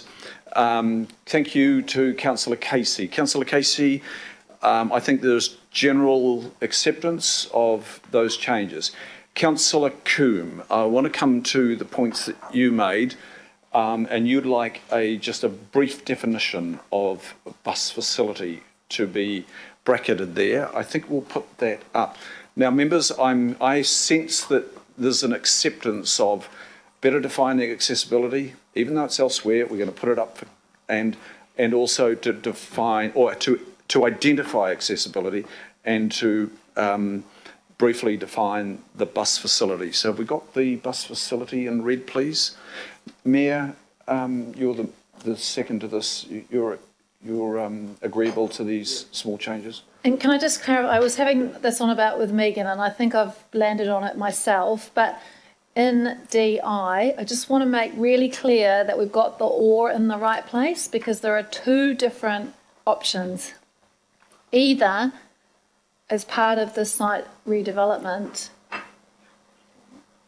so we redevelopment the site and or that can be with removing the flyover and replacing the space underneath it with an ex- it's it's I'm not convinced there's it's clear that it's either or in terms of the options because an extra and or's been put in, which Okay. I understand where that is sitting. But as long as we're sure that that's really clear, there's an on-site option, there's an off-site option. The off-site option is either Okay, or it. removing the flyover. So um, just while we go to the next stage, um, we um, have got the uh, bus facility identified in brackets there, and between our chief of strategy and um, and David Rankin, we'll just make sure, and Ross Chirnside, we'll just make sure we've got that the um, the wording right there. Okay, now. Um, Councillor Watson, I've got an indication of, do you still want to put an amendment, do you? I think I, members, how about we just take uh, the amendment now and, um, and treat with that? Um, does that suit you, Councillor Watson? Okay, I'm going to take, um, now I'm, why I'm saying this is an amendment, Councillor Watson, I, I don't get a sense that there's, um, you know, a, enough consensus to, to um, adopt it, incorporate it. So I will come to you to move it and um, you will tell us who your second is, please. Thank you. Can you put your mic on, please, Councillor Watson? Yeah. Okay, so I'll, I'll, I'll speak to that now. Thank you. Look, um, to be honest, folks, uh, I'm a little disturbed at the turn of events today and really how far these recommendations have moved away from all the advice that we received in the workshops leading up to now. And, and, I, and I hope this resonates with some of the people around the table. We started off uh, from uh, through Auckland Transport getting told how important it was for people to have access to the city centre to enable their contribution to and benefit, benefit from it. We, we tied that down when, in relation to the downtown car park in particular, and I'm, I'm quoting from one of our workshops here, where short stay parking supports the city centre's vibrancy and economy by increasing equitable access to recreation, culture events, retail and hospitality. And what that meant was that there was a place, a strategic place at the heart of Auckland City where people from all over Auckland can come to and get some parking. So we, we've said that, and furthermore, uh, we, we very early on concluded that if AT was to continue that important role of equity, of allowing people to come in and go to events, these hundreds of millions of dollars that are invested down there, it was important that Auckland Transport, uh, to provide uh, affordable short stay parking, or at least to enable it in an instance like this, by retaining space for car parking in downtown. And that was seen as being absolutely essential. Um, and who are the people that came in? And someone referred to where they come from or how many of them were. There are big numbers of people from all over Auckland come in and use that parking for accessing those facilities at, at night, in the weekend, uh, when there is no other parking or very limited parking, particularly when we are looking to remove it. So they came from all over. Thousands of people. There was um, uh, Waitakere, over uh, 5,000 people in just, just over um, a month and a half. Over 4,000 from Orakei, North Shore, ironically enough. Maungakiekie-Tamaki, getting up to 4,000. At the south, a, li- a little less, but still up 2,000 going to 3,000. Um, Eden, Albert Eden over 5,000, Albany Wood over 6,000. So there are thousands and thousands of our people using that, and they're using it because it's not always practical to get to get a bus in there. A a family of five to get a bus in on a Friday night to go to a show. That's not really all that practical, as it is for people with mobility issues, as it is for the for the elderly. Um, I think that in this issue, we should be listening to our people who have informed us through this, our experts, and that's the people in Auckland Transport, who have already reduced the number down from 1290 um, to 690 to down to 4 to 700. For, you know, that is a big reduction already as things stand in those numbers of short-term parking, for providing that access for our people on the odd occasions that they choose to come in. Um, they, I heard a little bit of guffawing at um, the notion of the climate change objectives. I find that a little ironic. If you compare us internationally, for instance, with, with Glas Glasgow City, uh, which is light years ahead of Auckland in terms of uh, its climate change actions, not policies, actions, and its public transport provision, they faced exactly the same position. And in their city centre strategic parking review, their response was to cap the existing number. So they capped their permanent off-street parking at the existing number. They didn't reduce it by over of half, what we're proposing to do. So that's a city that is leading the world in climate change and in public transport. Its heavy rail network is second only to Greater London. So that's what people are doing internationally, uh, and that's what we should be following here. And, and to be fair to our Auckland transport officers, is what they have been recommending us to do. So I, I, you know, to be honest, I'm very surprised to see that social good um, output from Auckland Transport and providing that affordable, safe off-street parking. There is a social component here. Do you really want women and young kids and whatnot wandering around the streets, waiting at bus terminals at half past 11 at night or 12 o'clock at night and trying to make connections that they won't make anyway in the outer suburbs, that's not really all that practical. So this particular facility, if we're to be true to that notion of providing equitable access to all these facilities in the downtown that our people pay for, that our ratepayers and other citizens pay for, then we should be providing an adequate amount. What Mr Rankin referred to are credible. Actually, credible and adequate, guess what? They mean the same thing. They mean the same thing, and that is acceptable. So that's a common definition to both. So that resolution there, kindly seconded by Councillor Stewart, in effect, in effect, is merely a restating of the assurance that was given to us by Mr Rankin when he spoke, when he used the word credible to say the same thing. The only difference is, rather than the, the rather um, uh, sort of glib dismissal of the adequate short stay that, that was in the motion at proper, that actually makes it clearer to the developers, to the business interests, that yes, we want to see what you're going to provide for your, your shoppers, but we also want to see what you're going to provide for the general public because that is important to us at this location, downtown Auckland. I think that is a reasonable assurance and it merely reflects everything we have been told throughout this entire process. Thank you. Thank you, Councillor. Um, is there anybody else that would like to speak to this motion? Um, I think I'll take three speakers on either side, if, if that's okay. Councillor Walker. So uh, I'm speaking unequivocally in support of this motion. It is absolutely crucial that this city provides for the needs of disabled people. And we know that there are a lot of them, and with a growing city, there will be a lot more. And what do those disabled people need? Often a number of these people are dependent on a vehicle. Sometimes it's a customised vehicle to meet their needs. Those disabled people normally have um, disabled stickers on their uh, cars and the like, they're identified. It's critical that we provide for them. And arguably, this is the single best location in the Auckland city area to provide for them. Now, why is that? Because this particular location is close to the ferries, is close to what will be light rail, is close to heavy rail, is close to walking and cycling facilities. Not that they would be using that, but it is close to all of those facilities, so it is a critical location.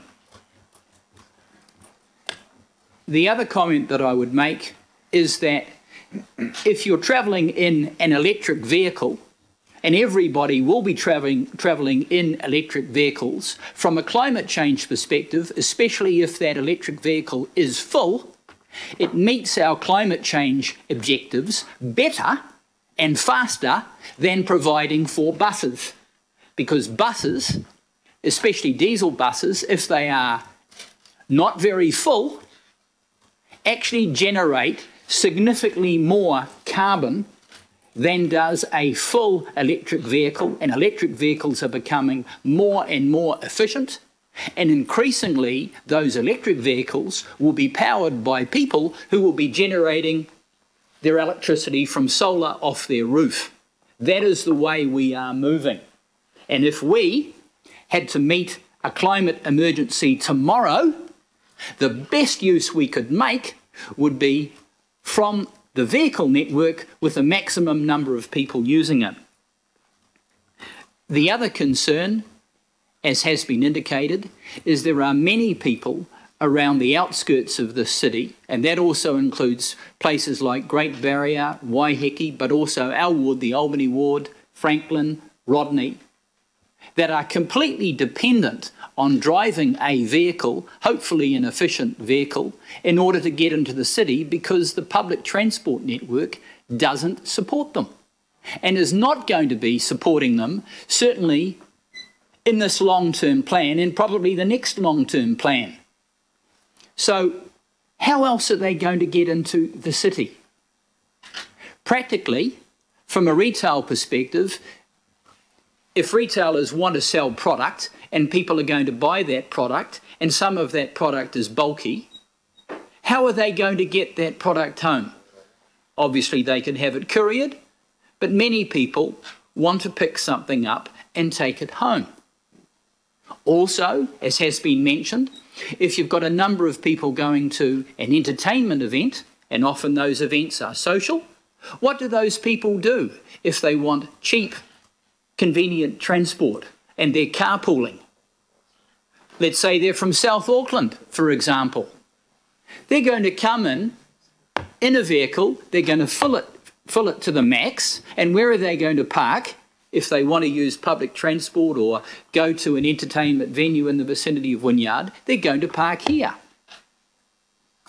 And in the future, we know that they're not going to be able to park in many other areas because this council and Auckland Transport is actively reducing the number of parks that are available on street.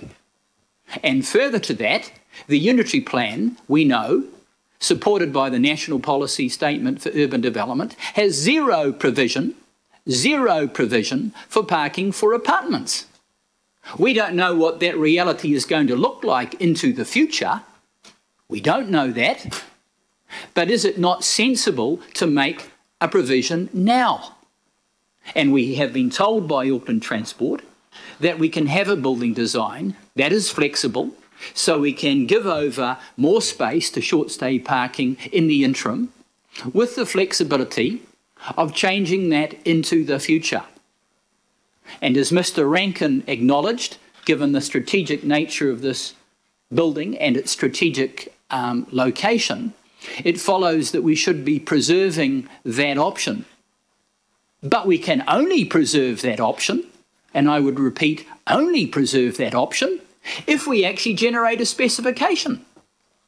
So, are we going to do that based on the information, the good information that we've received from Auckland Transport, or are we going to abrogate our responsibility and just give it over to the uh, marketplace? And as Mr. Rankin mentioned, I think he mentioned a figure as low as 50. I'm sure that was in jest, but that was the range or the lower end of the range that he mentioned.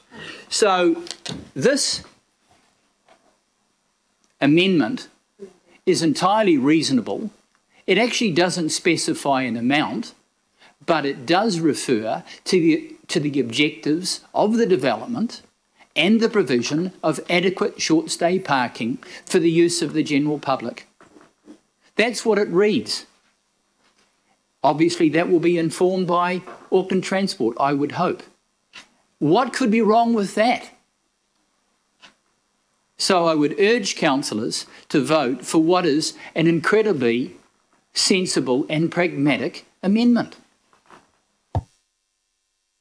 Uh, thank you, Councillor. Just briefly from me, um, you've heard from our General Manager of uh, Plans and Places that in our own document that uh, we signed up in 2016, there are there are no minimum provisions for car parking in the city centre. Um, I think um, that continues to stand. That's my understanding. It's, it seems um, a real contradiction of us uh, if we were to proceed and ask the private sector for something that was quite different to the unitary plan provisions. Uh, that would be really, um, I, I, don't know how you could reconcile the two actually. I think the, the market would just be scoffing at us. Uh, it's an unexplainable contradiction, to be honest, um, requiring that. Um, and I just do want to emphasise um, we are in no way restricting any proposer, any, any proposal that comes forward. Uh, we're not restricting them on providing um, car parking, uh, and that's entirely consistent with the unitary plan. Um, I also remind people that um, this particular part of our city centre square mile is not just connected by public transport, it's hyper connected. It's got bus, it's got rail. Uh, it's going to have future um, CRL. It's going to likely have future light rail. We're just about to open a brand spanking new downtown ferry terminal. We're, we've got so much in the budget to expand that network uh, it is going to be even more hyper-connected, and that's what people are responding to. And we've had the evidence before us that the growth is in public transport and active transport connections for people reaching the city centre. That's what they're thirsting for, and that's what they're climbing aboard. Um, Councillor Walker, absolutely respectfully, uh, you talked about disabled people need this. Um, Councillor Casey emphasised the need to re-emphasise, actually, uh, um, the, the, desire for accessibility. To make it explicit, we've done that again. Um, that is already provided for. You spoke uh, about this place providing, you know, rail, heavy rail, etc. I think you found yourself speaking against the motion there, actually, uh, and and just reinforcing that it is absolutely hyperconnected. Um, I'll go now to Councillor Coom. Um, Thank you, Mr. Chair. I would rather be speaking in support of the substantive item, but I'm going to take strength from all of what our local board said this morning because I really have to just respond to this amendment, which is so inconsistent with our strategies and our plans that we've put in place. And they're, they're, we should back our own plans that we have for the city centre. Um, just a few things that I just wanted to really respond in terms of locking in car parking. That is a, a solution to yesterday's problem or today's problem. And this isn't about whether people should be able to drive into the city centre. That's always going to be a necessity, whether it's going to be in EVs in the future. There will be people who will need to drive. Just as we know today, there's plenty of people that find it easier to drive into the city centre. But we're talking about, Councillor Walker, Councillor Watson, the city in 2028. We've got to imagine what that's like when CRL has opened, when light rail is running from the city centre, when we have more ferries, we have electric ferries. The city is going to be really different. They're going to be people fountains. It's going to be so easy to access this part of the city. For us to lock in today's problem into the future of the city is so short sighted. And that is what Auckland has always done. We're governors around this table because we're here to make decisions for the future generations as well, not to like build harbour bridges that are only four lanes when we know that the future actually needed eight. So um, it just does not make sense at all that we lock in requirements around car parking, especially when we know any developer is going to go to market and say, this is what customers need. They will come up with car parks. We know as a minimum it's going to be at least 200 because that's what the current, um, one of the, you know, the precinct already have locked in that car park is 200 car parks that they need for commercial bay. So that will be part of the mix. And they're, they're, they're going to probably add in, there'll be more if that's what the market needs. But this is for 2028. And I also just want to refer to something that's in the report at paragraph 120, 118. The full financial implications of the redevelopment not be known until you know the, the competitive market process. But adding in all of this stuff will have a material impact on the value of the site. We might as well be writing a check to any developer that comes along if we start prescribing all this additional stuff and prescribing short term car parks, which are the most, the lowest value use of this site in 2028. So I get the intention, I get the concern about today. I totally understand that people need to drive in today. That, that's, this is about enabling the future when Aucklanders are going to have a whole lot more options, and we've got a plan for that. So there's just no way that this should be supported, and I really I don't need to speak to the substantive item because I, I think I've made my points. Um, and I just really think we've got to a good place with this report. Um, and we should go to market and test it to see what the value is. And I think it's really good that we have options on the table so we can find out what we can actually ma maximise from the site. And I just make a final comment that this is the most amazing opportunity for this site. And I might have said this last time when we had that schmozzle of a meeting when we tried to get this across the line last time. But I never imagined in my lifetime that we would see this development, this downtown car park site get developed, and that we might get rid of the flyover that was built for a motorway that was going to decimate our waterfront and go across Eastern Bays. That's why that flyover is there. It serves no other purpose. So we've got to reimagine what our city is, and the city centre master plan gives us a fantastic um, foundation for that. So I'm really glad that it's being led now by Panuku by our strategic team because that's the best way that we can put our front foot forward to go to the market and we've got to make sure we get the best deal for the people of Auckland and this amendment undermine that. So kia ora, thank you. Thank you, Councillor Coom. Um, Mayor Goff, please. Thanks. I can be brief because I think the points have been made, but let me just reiterate the critical ones. Uh, the importance of access to the city centre, Councillor Watson raised as his primary point. This area of the city is better connected by public transport than any other part of the city by a country mile. The area that we're talking about, the downtown car park, is 200 metres from the Britomart, 200 metres from the ferry. It has the buses connecting in there, and in due course, we hope it will have light rail connecting in there. Secondly, uh, will this mean no cars can come into the city centre? Of course not. Uh, when I think of that area, you've got two large car parks immediately adjacent to the downtown car park, the Fanshawe Street car park and the, uh, the Viaduct Basin car park. So there will still be car parks there. The second point is about opportunity costs if we prescribe the number of car parks. Firstly, um, one of the critical things about the sale of this asset uh, is that it will help meet our sales target, it'll meet our savings target, and some of that money can be recycled into vital assets. The more we load onto the developer, the more we lower the value of the property and the return to council. And, uh, you know, I, I don't think um, uh, our officers have specified the exact amount, but the more we load onto it, the less we'll get for it. And secondly, uh, to pick up uh, David Rankin's point, you know, we're taking away a car park to create something totally different, and now we're trying to load more and more onto the site where we want to create something different, more and more car parks. Thirdly, um, inconsistency with our existing policies. Um, the Chair has talked about the unitary plan. Reducing emissions is critical. Look, um, there'll be 50% of our buses that will be electric long before there'll be 50% of our private vehicles. Uh, and then there's the question of congestion.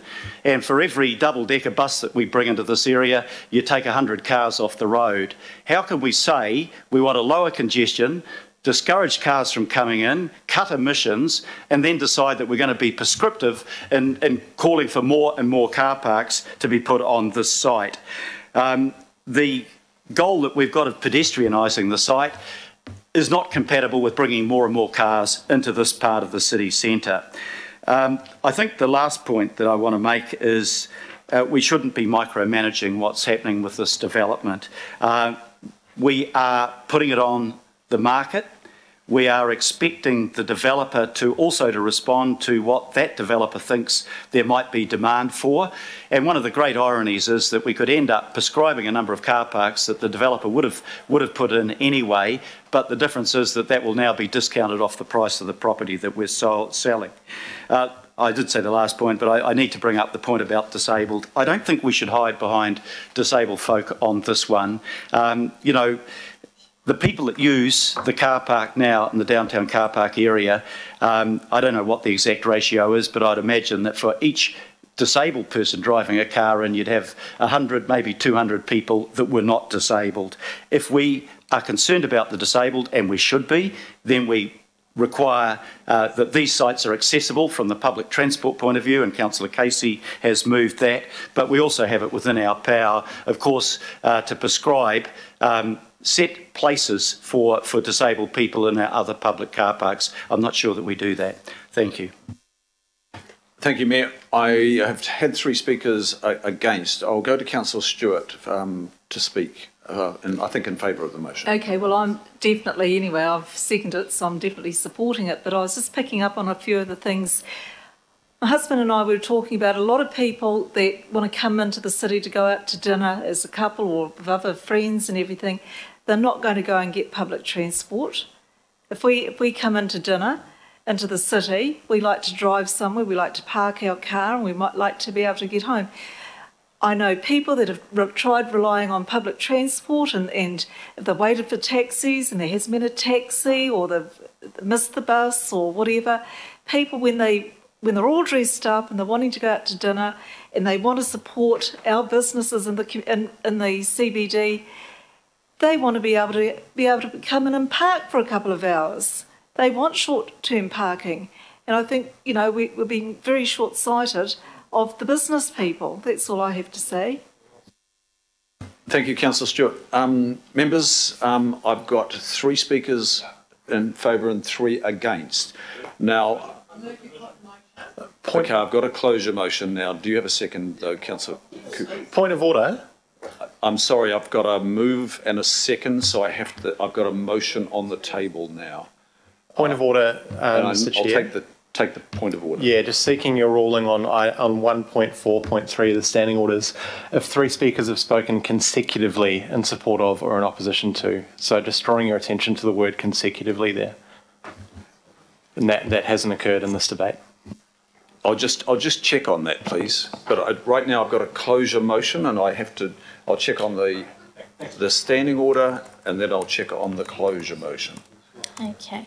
So in terms of a the chairperson's acceptance for closure motion, um, standing order 1.6.7. The chairperson may accept a closure motion where there have been at least two speakers for and two speakers against the motion. So he is able to accept that if he believes it's reasonable. Just a point of order, Mr Chair, just speaking to that ex explanation, which is a very good one. So may indicates that it's in your hands, so you can accept it or not. Yes, and look, I'm going to accept uh, the closure motion um, knowing how much business we've got to conclude and uh, considering the debate that we've had on this so far and will continue to have uh, with the substantive motion. So, to, so, point of order, Mr Chair, just on the closure motion, then obviously anyone that wanting to, to continue speaking will vote against the motion. Yes, the motion is is moved. It is seconded, moved by Councillor Cooper and seconded by the Deputy Mayor. It's a closure motion, and I believe um, there's no further discussion on a closure motion. So I will now take that to the vote. All those in favour say aye. Aye. aye. To the contrary, no. No. Okay, um, um I'll, I'll, take, I'll take a show of hands, please. In the affirmative, could you please raise your right hand? This is for for the closure motion. It is. It is for. Okay. I'm happy to chair uh, if you I, like. I, I, I, support the motion, um, uh, Chris. It's Greg online. Okay, so we've got 10. Thank you. Same here. Excuse me. Members, can I, do you mind if I chair? can you please raise your right hand if you are in favour of the closure motion. And I'll allow Kalinda to do the counting, please. Okay, so we have the members in the room. There is currently nine for the motion, um, and Councillor Sayers, are you are you voting on the closure motion? No, no I'd, I'd like to speak to it, so I'd be against it. Thank you. Okay, all right. Okay, and so do you want to put against? And against, Sorry, please. Chair. Just a minute, please. Chair, We're- just to let you know, We're- sorry, Chair, I, I, for sorry, pleasure of Councillor motion, Alf, we're in the I'll vote middle of- We're in the middle of voting, Councillor Alf, and um, I just, are you saying that you are voting in favour, Councillor Alf? Yes, that's why I wanted to, to, to inform you, Chair. Oh, look, thank you. Sorry for my interruption there, but um, ten so it for is vote. 10. Those against, please raise their right hand in the room. One, two, three, four, five, six, seven, eight. So there's eight against, Are there any online against? um, and Councillor Mulholland is against. So we're so Okay. um, so the the ayes have it. The ayes have it. Um, so we'll now put the amendment to the vote. I just, so, just point of order on the numbers there, I thought, I thought it was 10-8, then two other people opposed it, so you're using your Oh. casting vote, are you? No, I'll hand to Kalinda to tell you what the vote decision is. So I had it as ten Could I councillors. just check my vote was included in that, Chris, please? Can we, we've got the record of the vote and we've Oh, heard you, councillor Sayers and councillor Filipaina. And Oh, Kalinda, Sorry, I didn't count councillor Sayers, so we're currently at a tie. So therefore, the status quo will have to go, which means that we continue the debate on the motion, uh, on the amendment. okay, I'm just going to clarify that. You, you're confident So- of the vote count, please? Yeah, because councillor Sayers was voting against and I didn't count him. And you counted councillor Filipaina? Yes. In favour of the motion? Mhm. Okay, and it's, so and there's no, and there's no casting vote on this? Correct, okay, thank you. So we'll continue with the debate and that's now with councillor Hills. This is only on the amendment, please. Cool. So I, the, I'm against this amendment because it's specifying things that we have discussed at several workshops that we weren't going to specify. This is what we plan to do and supported through the city centre master plan. If you put a whole bunch of car parks in there, we cannot do that.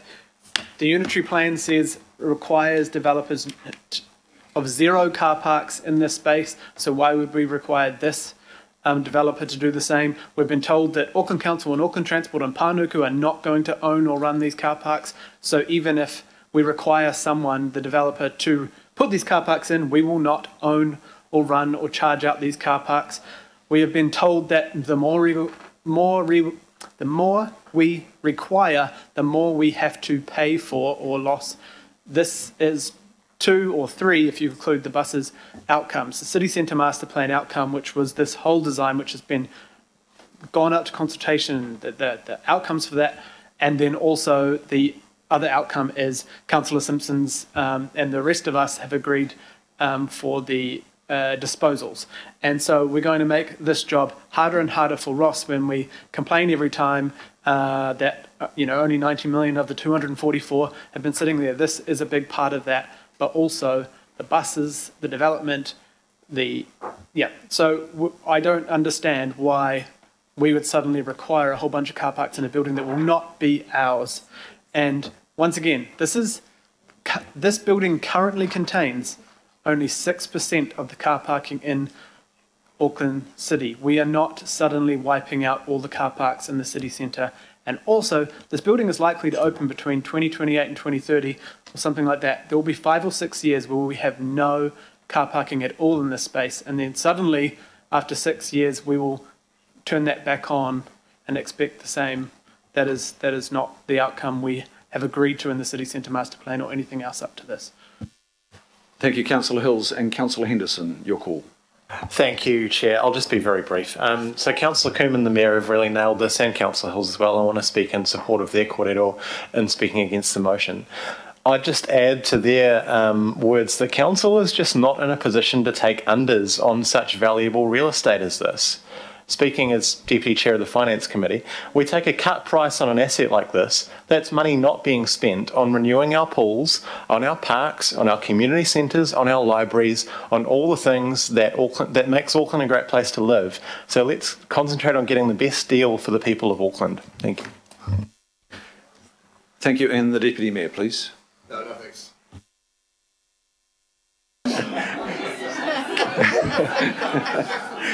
Councillor Simpson. Yeah, look, I um, I think you're both saying the same thing in some respects. This doesn't give a minimum number. I don't really have a problem with the amendment, and I've checked with my colleagues. I don't think they really have a problem with it either. First of all, the first point it's responses to include the details of the car parking required to meet the objectives of the development. That's exactly the same words as in D3. But responses to include details of the car parking required to meet the objectives of development. Exactly the same words. Then they've added, and the provision of adequate short stay parking for the use of the general public. Well, we don't know what that is. Let's see what they say. It's not a minimum number.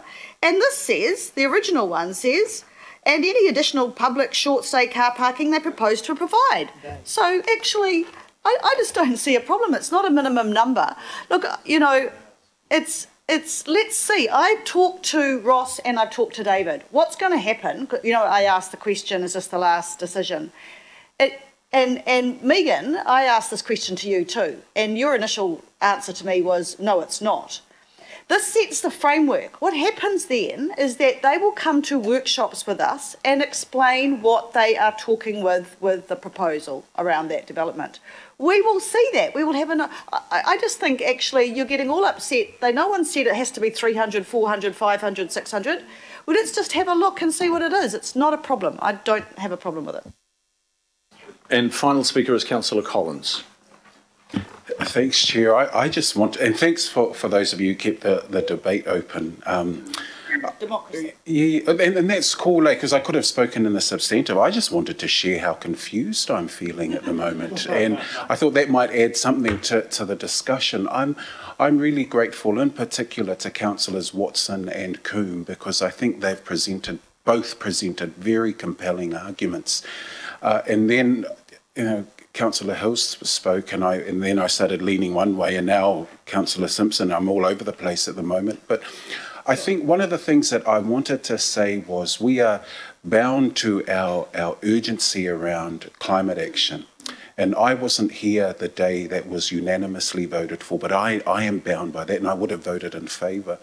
But one of the considerations that I make that given that South Aucklanders aren't coming in their droves in cars, uh, to park in this parking space is that one of the challenges I've always felt for more vulnerable, poorer communities in particular is the way we take them on the journey. And if we were to go from, uh, what, 1,200 car parks, whatever it is, to zero or to 300, 400, possibly 700, I'm wondering what that journey is like for communities like mine. And so that's the that's that's probably what is at top of mind for me is that it's often easy. Well, no, it's not easy, but it it seems really practical and the right thing to do to be in, encouraging our communities to look at active and public transport. But it's often not the case for my community. They're still extremely car dependent, and they're car dependent on cars that are gas guzzlers, and I want them to get out of them. But I just I'm just thinking through going to, to a much less or, or signalling that there's going to be so many fewer such fewer car parks, whether that's the way you take them on the journey. So that's I just wanted to express that as being my confusion at the moment. And I wanted to thank councillors because I think, you know, whilst there was a bit of um, niggle around the edges of the ruck there, I think the, the, the arguments that people have presented, I've really learned from. I'm, and I really appreciate. And I'm, I'm grateful for the way you've guided the discussion, Chair, because I know it's difficult. And there were two times where you asked if you were allowed to chair, and I just wanted to say you are more than welcome to chair. Thanks. Thank, thank you, Councillor Collins. Thank you for that contribution. And um, oh, I've got Councillor Fletcher now online. Councillor Fletcher. Thank you. I don't think my vote for extending the um, debate, in which case it wouldn't have been a tie. Um, I, am not sure what happened to my technology. But um, I, I, probably am following on from observations that Councillor Simpson has made, in that I, I actually see this as reflecting the policy advice we've received from David Rankin. As we go through the, um, and I applaud um, the councillors who've put this amendment forward because we do need, as we go through the divestment of such a significant piece of downtown, we do need to take our public with us and give them confidence that we understand what you know, what needs to be considered in terms of fairness, and and that we have transitionary measures. Um, I, I have to say I disagree with those that say that they know that that will just discount the price. I would like to see evidence of that. Once upon a time, people said, oh, well, we have to bowl away all our heritage because that will discount the value of, of this site or that site. I think into the future, um, a, a smart developer will understand that there will be value from making sure that there is adequate provision. So I, I don't buy into that argument. It does concern me that unless there is adequate short-term parking, um, we may unintentionally favour big business over small business. We know that there are uh, a small law practices, that, that there are small professionals who are working in that area who rely on that downtown car park for people coming in and having um, access. They they may not be the big Russell McVeaghs and the Simpson Griersons that can provide their clients with uh, car parks in inside of, of buildings. So um, long term, that developer will know and be smart enough that those car parks, if they're not required, can probably be modified into something else. But this is the one chance that we have today to actually ensure that the reflection of the, the things that we've heard from our communities, and this is very much a political vote, this isn't anything other than applying our political judgment on all the advice we've heard. This is our responsibility today. And I believe what Councillor Watson is attempting to do is to reflect what we have heard that there will be adequate short stay parking. Yes, we're, we're moving into the great future and we will have, you know, the Britomart was always intended to be linked to the CRL. We will have fantastic accessibility into the downtown area, but there will always need to be some short stay parking. And I think that those smaller businesses uh, that are there will need to hear that we're still considering them in the decisions that we're making for the future as we go to divest ourselves of, of this premier site. So I'm supporting Councillor Watson in this, and I, I, I, I would hate to think that uh, just on points of principle that others won't support him because I think I think it's just reinforcing what we've heard by way of policy workshops and and in policy advice that we've heard today. Thank you. Thank you, Councillor Fletcher. Councillor Sayers, please. Councillor Sayers, are you with us? Okay, members, I'm going to put it to the vote then. Uh, we're going to the vote now. And um, I ask all those in favour say aye. By, by division. Okay, I've got a division now. Um, I'll hand to the governance advisor. Okay, so this is a division on the amendment that's up on the screen um, to D3. Um, Councillor Darby. Against. Councillor Against. Bartley. Um, against. Councillor Casey. No. Councillor Cashmore. Uh, no. Councillor Collins. Full. Councillor Coom. Against. Councillor Cooper. Councillor Dalton. Against. Councillor Filipaina. Against. Councillor Fletcher. Four. Mayor Goff. No. Um, Councillor Henderson. No. Councillor Hills. Against. Councillor Mulholland.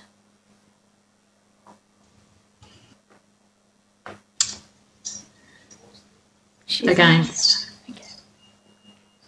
Member Ngamane. Against. Councillor Sayers, who's not online, sorry. Um, Councillor Simpson. Councillor Stewart. Councillor Walker. Councillor Watson. Councillor Young. Um, I think Councillor Sayers has just returned online. Councillor Sayers, can you hear Yes, us? thank you. For, for the motion. For the motion. For the motion? Yes, we've got your vote. Thank you.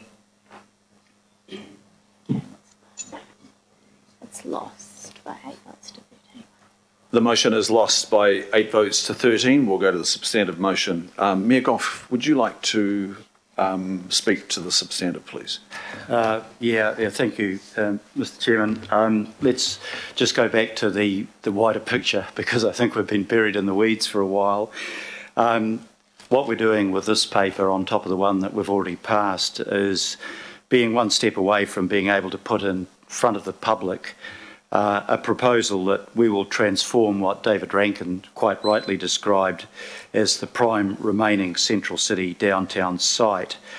Um, what we're doing is we're replacing a shabby, a seismic challenged, uh, past its used by date uh, building in the wrong place uh, with the potential for a world-class uh, uh, construction of retail, office and possibly accommodation space that really connects Commercial Bay, which is now a wonderful area, with Viaduct Basin, which is also a wonderful area. And why the hell would we want to leave a redundant uh, and unaesthetic uh, car park in the middle of those two great areas of the city? Um, the outcome, of course, will be determined by a market process, which is uh, appropriate uh, to, to, determine what, what is the best outcome architecturally uh, and in terms of usage, and the best financial return. And uh, financial return is balanced uh, also against that outcome. I think we're going for a great outcome that's consistent with the uh, the Central City Master Plan, but obviously it also has the potential for a really good financial return that enables us to achieve our savings targets and to transfer investment to more important areas. The paper that we're looking at now, um, first of all, it, it determines that we do need a bus facility, and uh, I acknowledge the work that's been done on that. Uh, there are a lot of people, an increasing number of people that will be coming in by bus, and we want them to be able to have a place where they can uh, properly embark and disembark. We're putting in front of the the people who will be tendering two choices, one within the building and the other on street. But I think the opinion around this uh, table is pretty clear uh, that the advantage, uh, as we see it, would be on an on-street site that doesn't uh, rip maybe 30 or 40% of the value out of the sale of the building, but still meets the needs that we require. Um, what we've decided in the last debate is that um, the developer, uh, him or herself, will determine uh, what the nature of the car parking spaces will be and we as a council will not be subsidising car parking by discounting our price by setting a requirement for a number of uh, a particular number of car parks.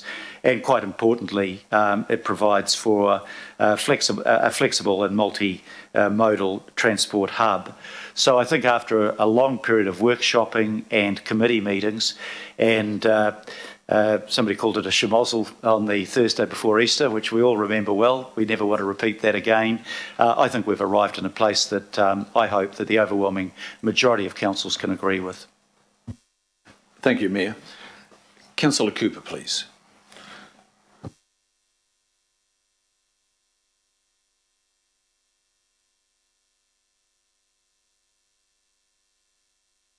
Kind of you, very kind. Um, so I did have my reservations about parking um, for commuting, but we're talking about short stay car parking here. And short stay car parking is not usually random. It's something you think, I've got to go into town for a couple of hours, I've got to do this. Though, I think for most people in the outer suburbs, they're not coming into their lawyer in the city. And if they are, they can afford whatever it is. Um, people from places like Ranui and New Lynn, Henderson, can all come in the train and from the south if they're doing something like that. In terms of the other, I, I, I want to support Councillor, um, both Councillor Henderson and Councillor Simpson in terms of what we value we can get out of this building because when we um, got less value out of the CAB that a lot of elected members didn't like, we were highly criticised and it was all through the papers that we'd given away buildings. I don't want to do that. I want to get the best value out of this and the best outcome for the city. Um, I also think that, you know, what we're all changing the way we do things. Even an old crusty like me from the West, We'll get the ferry in from Hobsonville Point if we're coming in for a few drinks and a show, whatever it is, and then we'll Uber home and we'll share it with four people. So, uh, so in terms of the kinds of journeys that Councillor Stewart was talking about, for people that can come in to the city and afford to have a meal and do all those sorts of things, go to a show, we can afford an Uber. But for most people nowadays, they use their services locally. They go to the lawyer, they go to things locally. And so, not a lot of people, except if they're shopping at maybe um, Commercial Bay, um, come in. And those people can afford to pay for parking. But they could also come in on a train or other places like that because it's usually a leisure time thing. So for me, this is really critical. I, also don't understand why we would need to put numbers to the car park spaces because this is completely part of getting the value out of it. We can ask those questions when this comes back to us. We can ask those questions of the proposal. We can say how many short stay car parks. We can ask those things. But, you know, at the moment, it's a bit more high level than that. And I'd like to let this process go ahead, get it out to whoever wants to buy it and realise some value, but also realise some of the aspirations we have for our city centre. There's no point spending a whole lot of money on Quay Street and making it pedestrian friendly and then having it full of cars and a horrible flyover, which is not a nice place to walk either. So I support um, this and I'm glad we've got to it finally. Thank you. Thank you, Councillor Cooper and Councillor Dalton. Thank you, and I will be quick. Um, I support this too, and really I'm speaking to all the people behind me, but it would be awkward if I turned around. Um, I just want to thank them for all of the advice and their guidance to get us to this point, and I wasn't here from the very beginning. But, um, but like Councillor Collins, every day is a learning day, right? And today was a learning day just to hear all the different points of view. Um, Look, the message I just want to say to everyone behind me is build it for all of Auckland. I have heard some views around today by the surrounding boards, Devonport Takapuna, Ōrākei, Waitemata, but build it for all of Auckland uh, because we will go through that, well, it's probably six years, I think you said, that and, until it's possibly built. The CRL will be online. Things would have changed a great deal.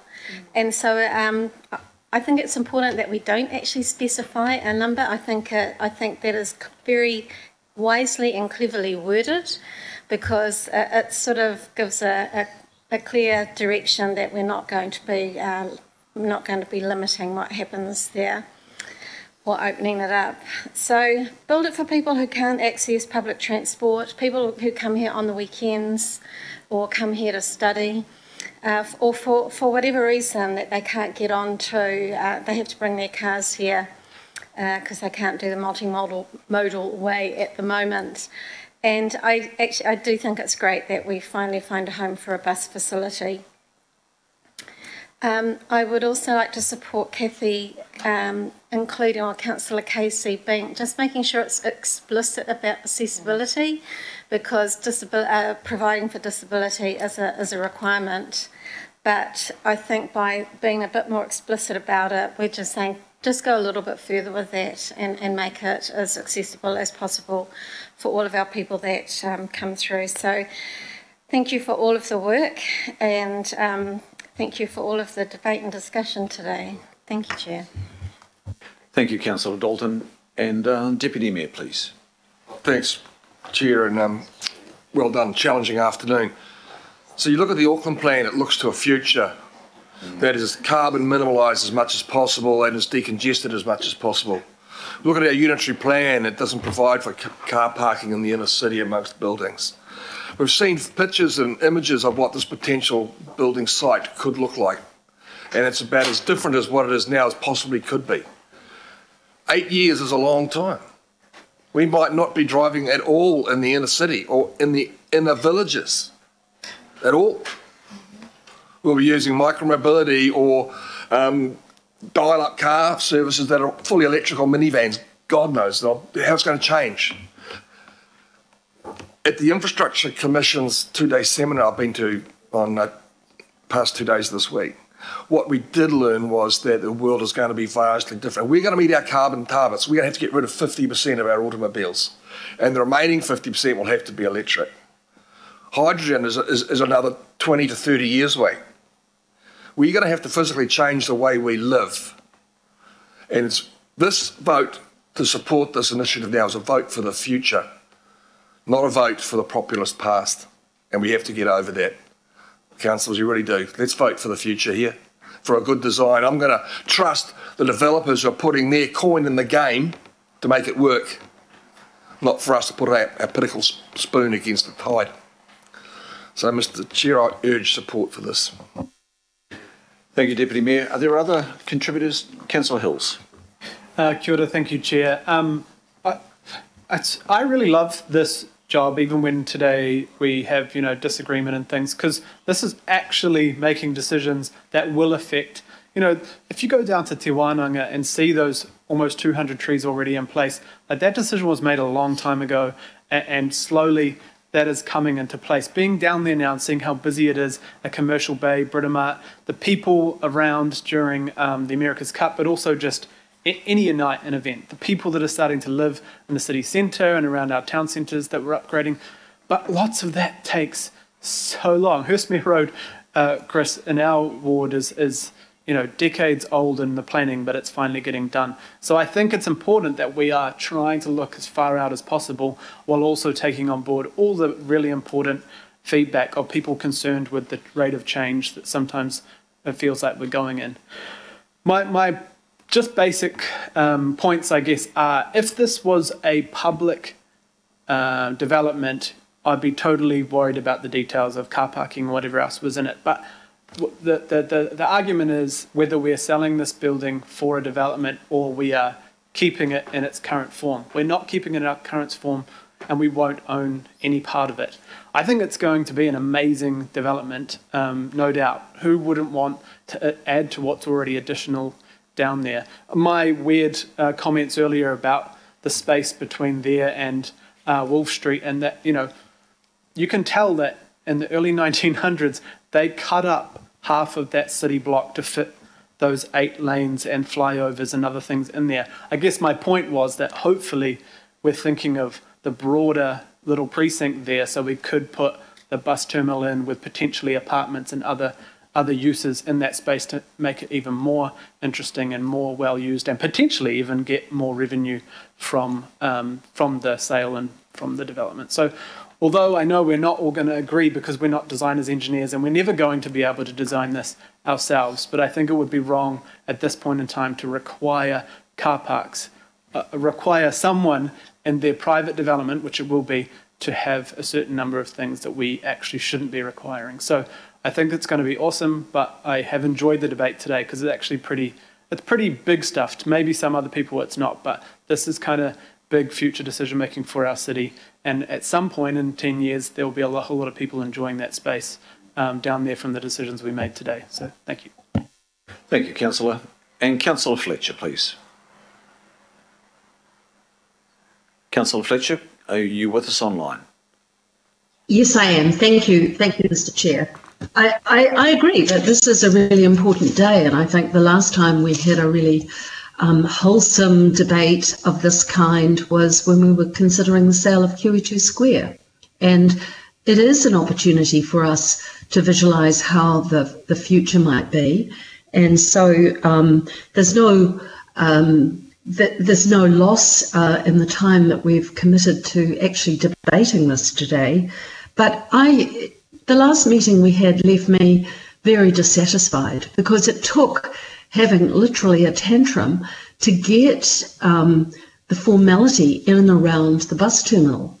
You know, if we'd gone on the recommendations and if we'd just rushed it through last time, we would not have given the attention that was required uh, to the provision um, of, of bus services in the downtown area. And to a degree, I feel we're making the same mistake in terms of the provision of car parking. Cars are on their way out. I'm the first to agree with it. But we're going through a transitional phase.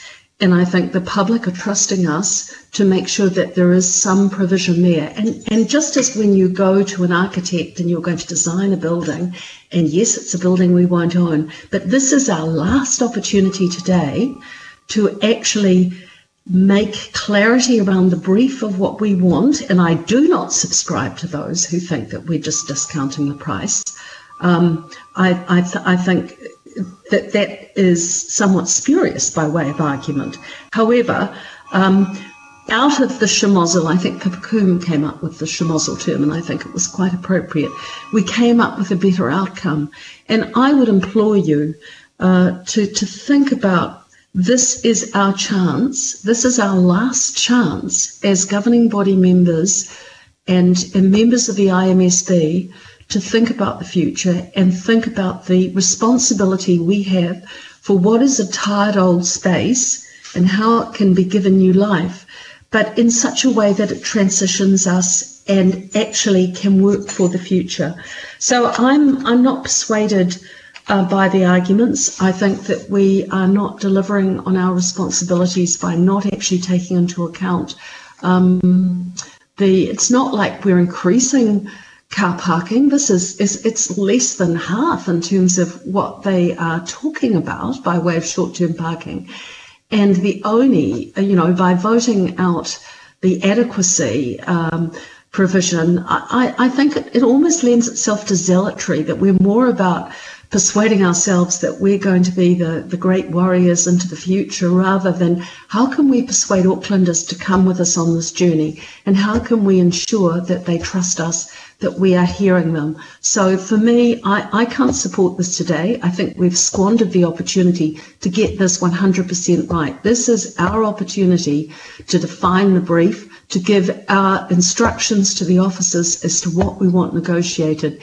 And I'm really disappointed that we're not making the most of that opportunity for our public. Thank you, Councillor Fletcher. And Councillor Walker, please. So, uh, um, I'm certainly disappointed. Um, I see increasingly a situation where this council abrogates its planning role, increasingly makes uh, decisions that are insufficiently informed around uh, the evidence. I see conflict amongst our council controlled organisations. I think that Auckland Transport have made uh, an attempt to provide that um, information, but increasingly short term economics, the rush to um, sell, accounting against, I would suggest, the long term interests of, um, of Auckland. Um, increasingly, I see a future that is no longer decently and in order, but is, is rushing to um, a future without sufficiently informing itself. I think that if we were to um, foresight and backcast, we are still going to have uh, vehicles. There's an enormous amount of investment that's going into the generation of electric vehicles. Increasingly, you'll see that they're wedded to battery sites um, on storage and solar.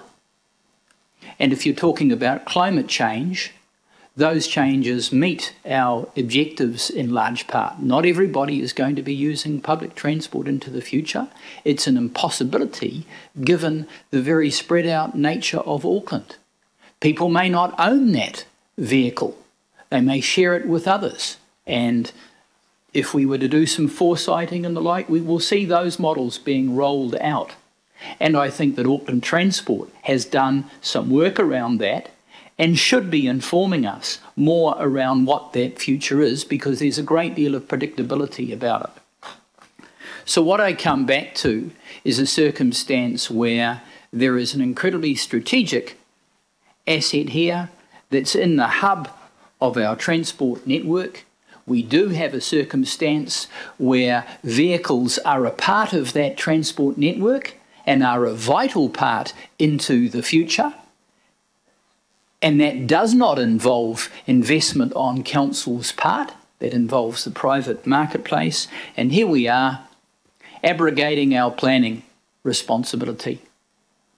So I'm, I'm disappointed here, and I see this decision once again as being a reflection on the downward slide of this council to really address the implementation, actually doing stuff that matters.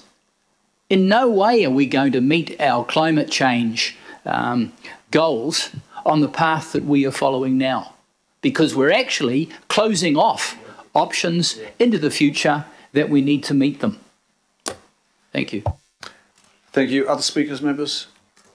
Look, I'll just close this out then. Firstly, thanking our team for working on this over the last, um, I think for the team it's coming up to about eight months.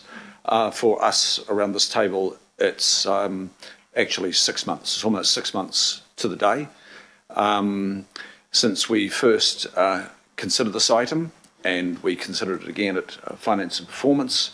We considered it back here um, uh, and this is the fourth time uh, it's come before committee. So I think it's been very thoroughly uh, socialised politically.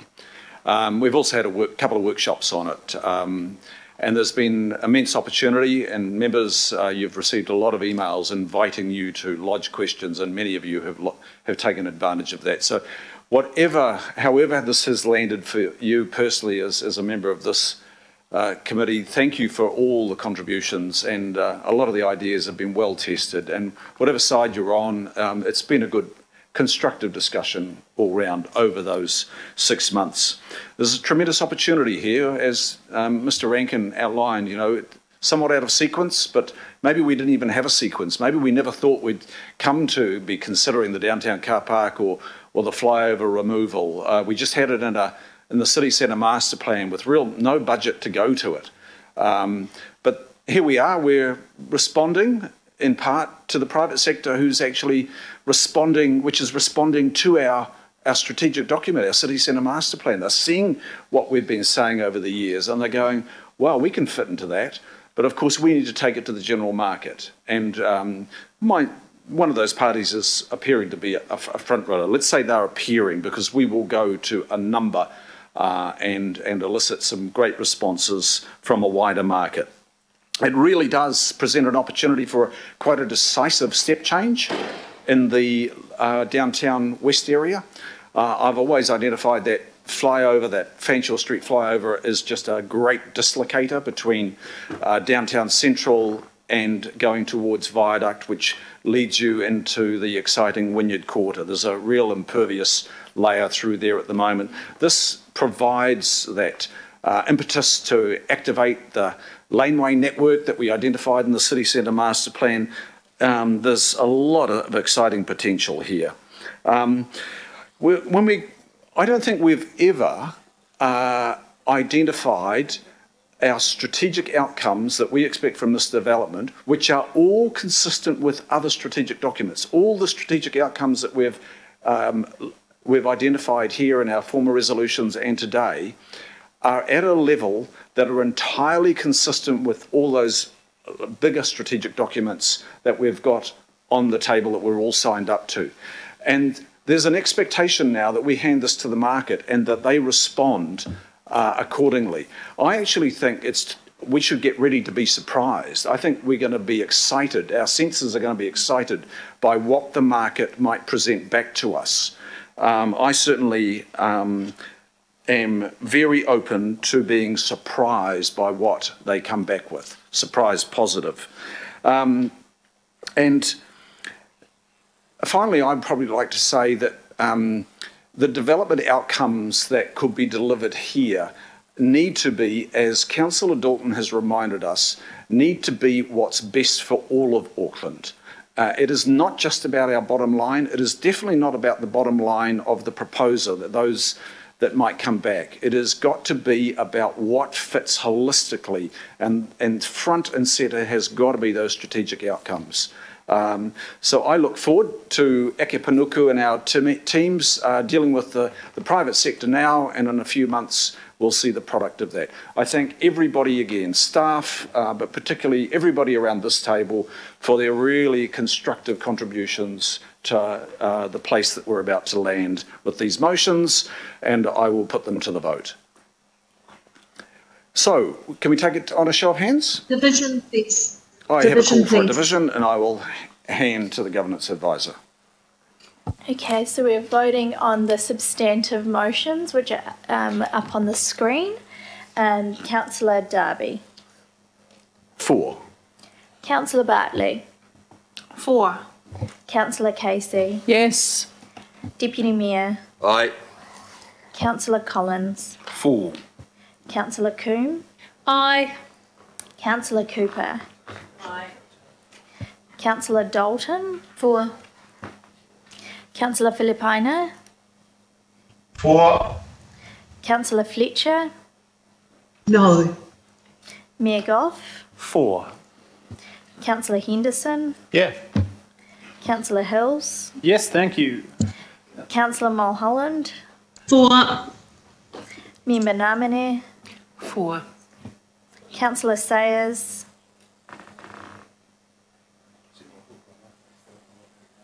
Councillor Sayers, are you online? Okay. Councillor Simpson. Okay. Okay. Councillor Stewart. No. Councillor Walker. Councillor Walker, your vote. I wish to record my vote against D3. And for the rest of the motion? Sure. All right. Councillor Watson? Councillor Young?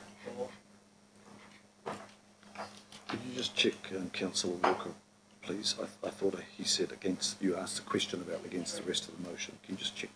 Yeah. So councillor Walker, just to confirm, we had you against cla- clause D, subclause 3, and for the rest of the motion. So, I said I was opposed to clause D3. yes, and against the, Uh, and for the rest of the motion? Yes. Yes. Okay. Just a point of order, just on the vote. Uh, uh, Councillor Sayers has just messaged me to say he's trying to get through, he can't, but he wants to vote against it. I don't know if that's within order or not, but Okay, yeah, um, I, I'll, we're in the middle of a vote. I can't interrupt. I need to take the call of the governance advisor. I will confirm with councillor Sayers after this because I don't think it's going to change the outcome and we can record it. Yep. Yep. Decision? Yeah. Decision.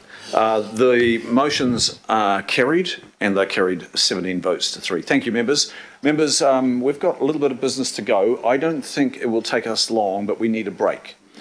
So um, ca- can I be assured, or can we be assured, of a quorum after a 10-minute break?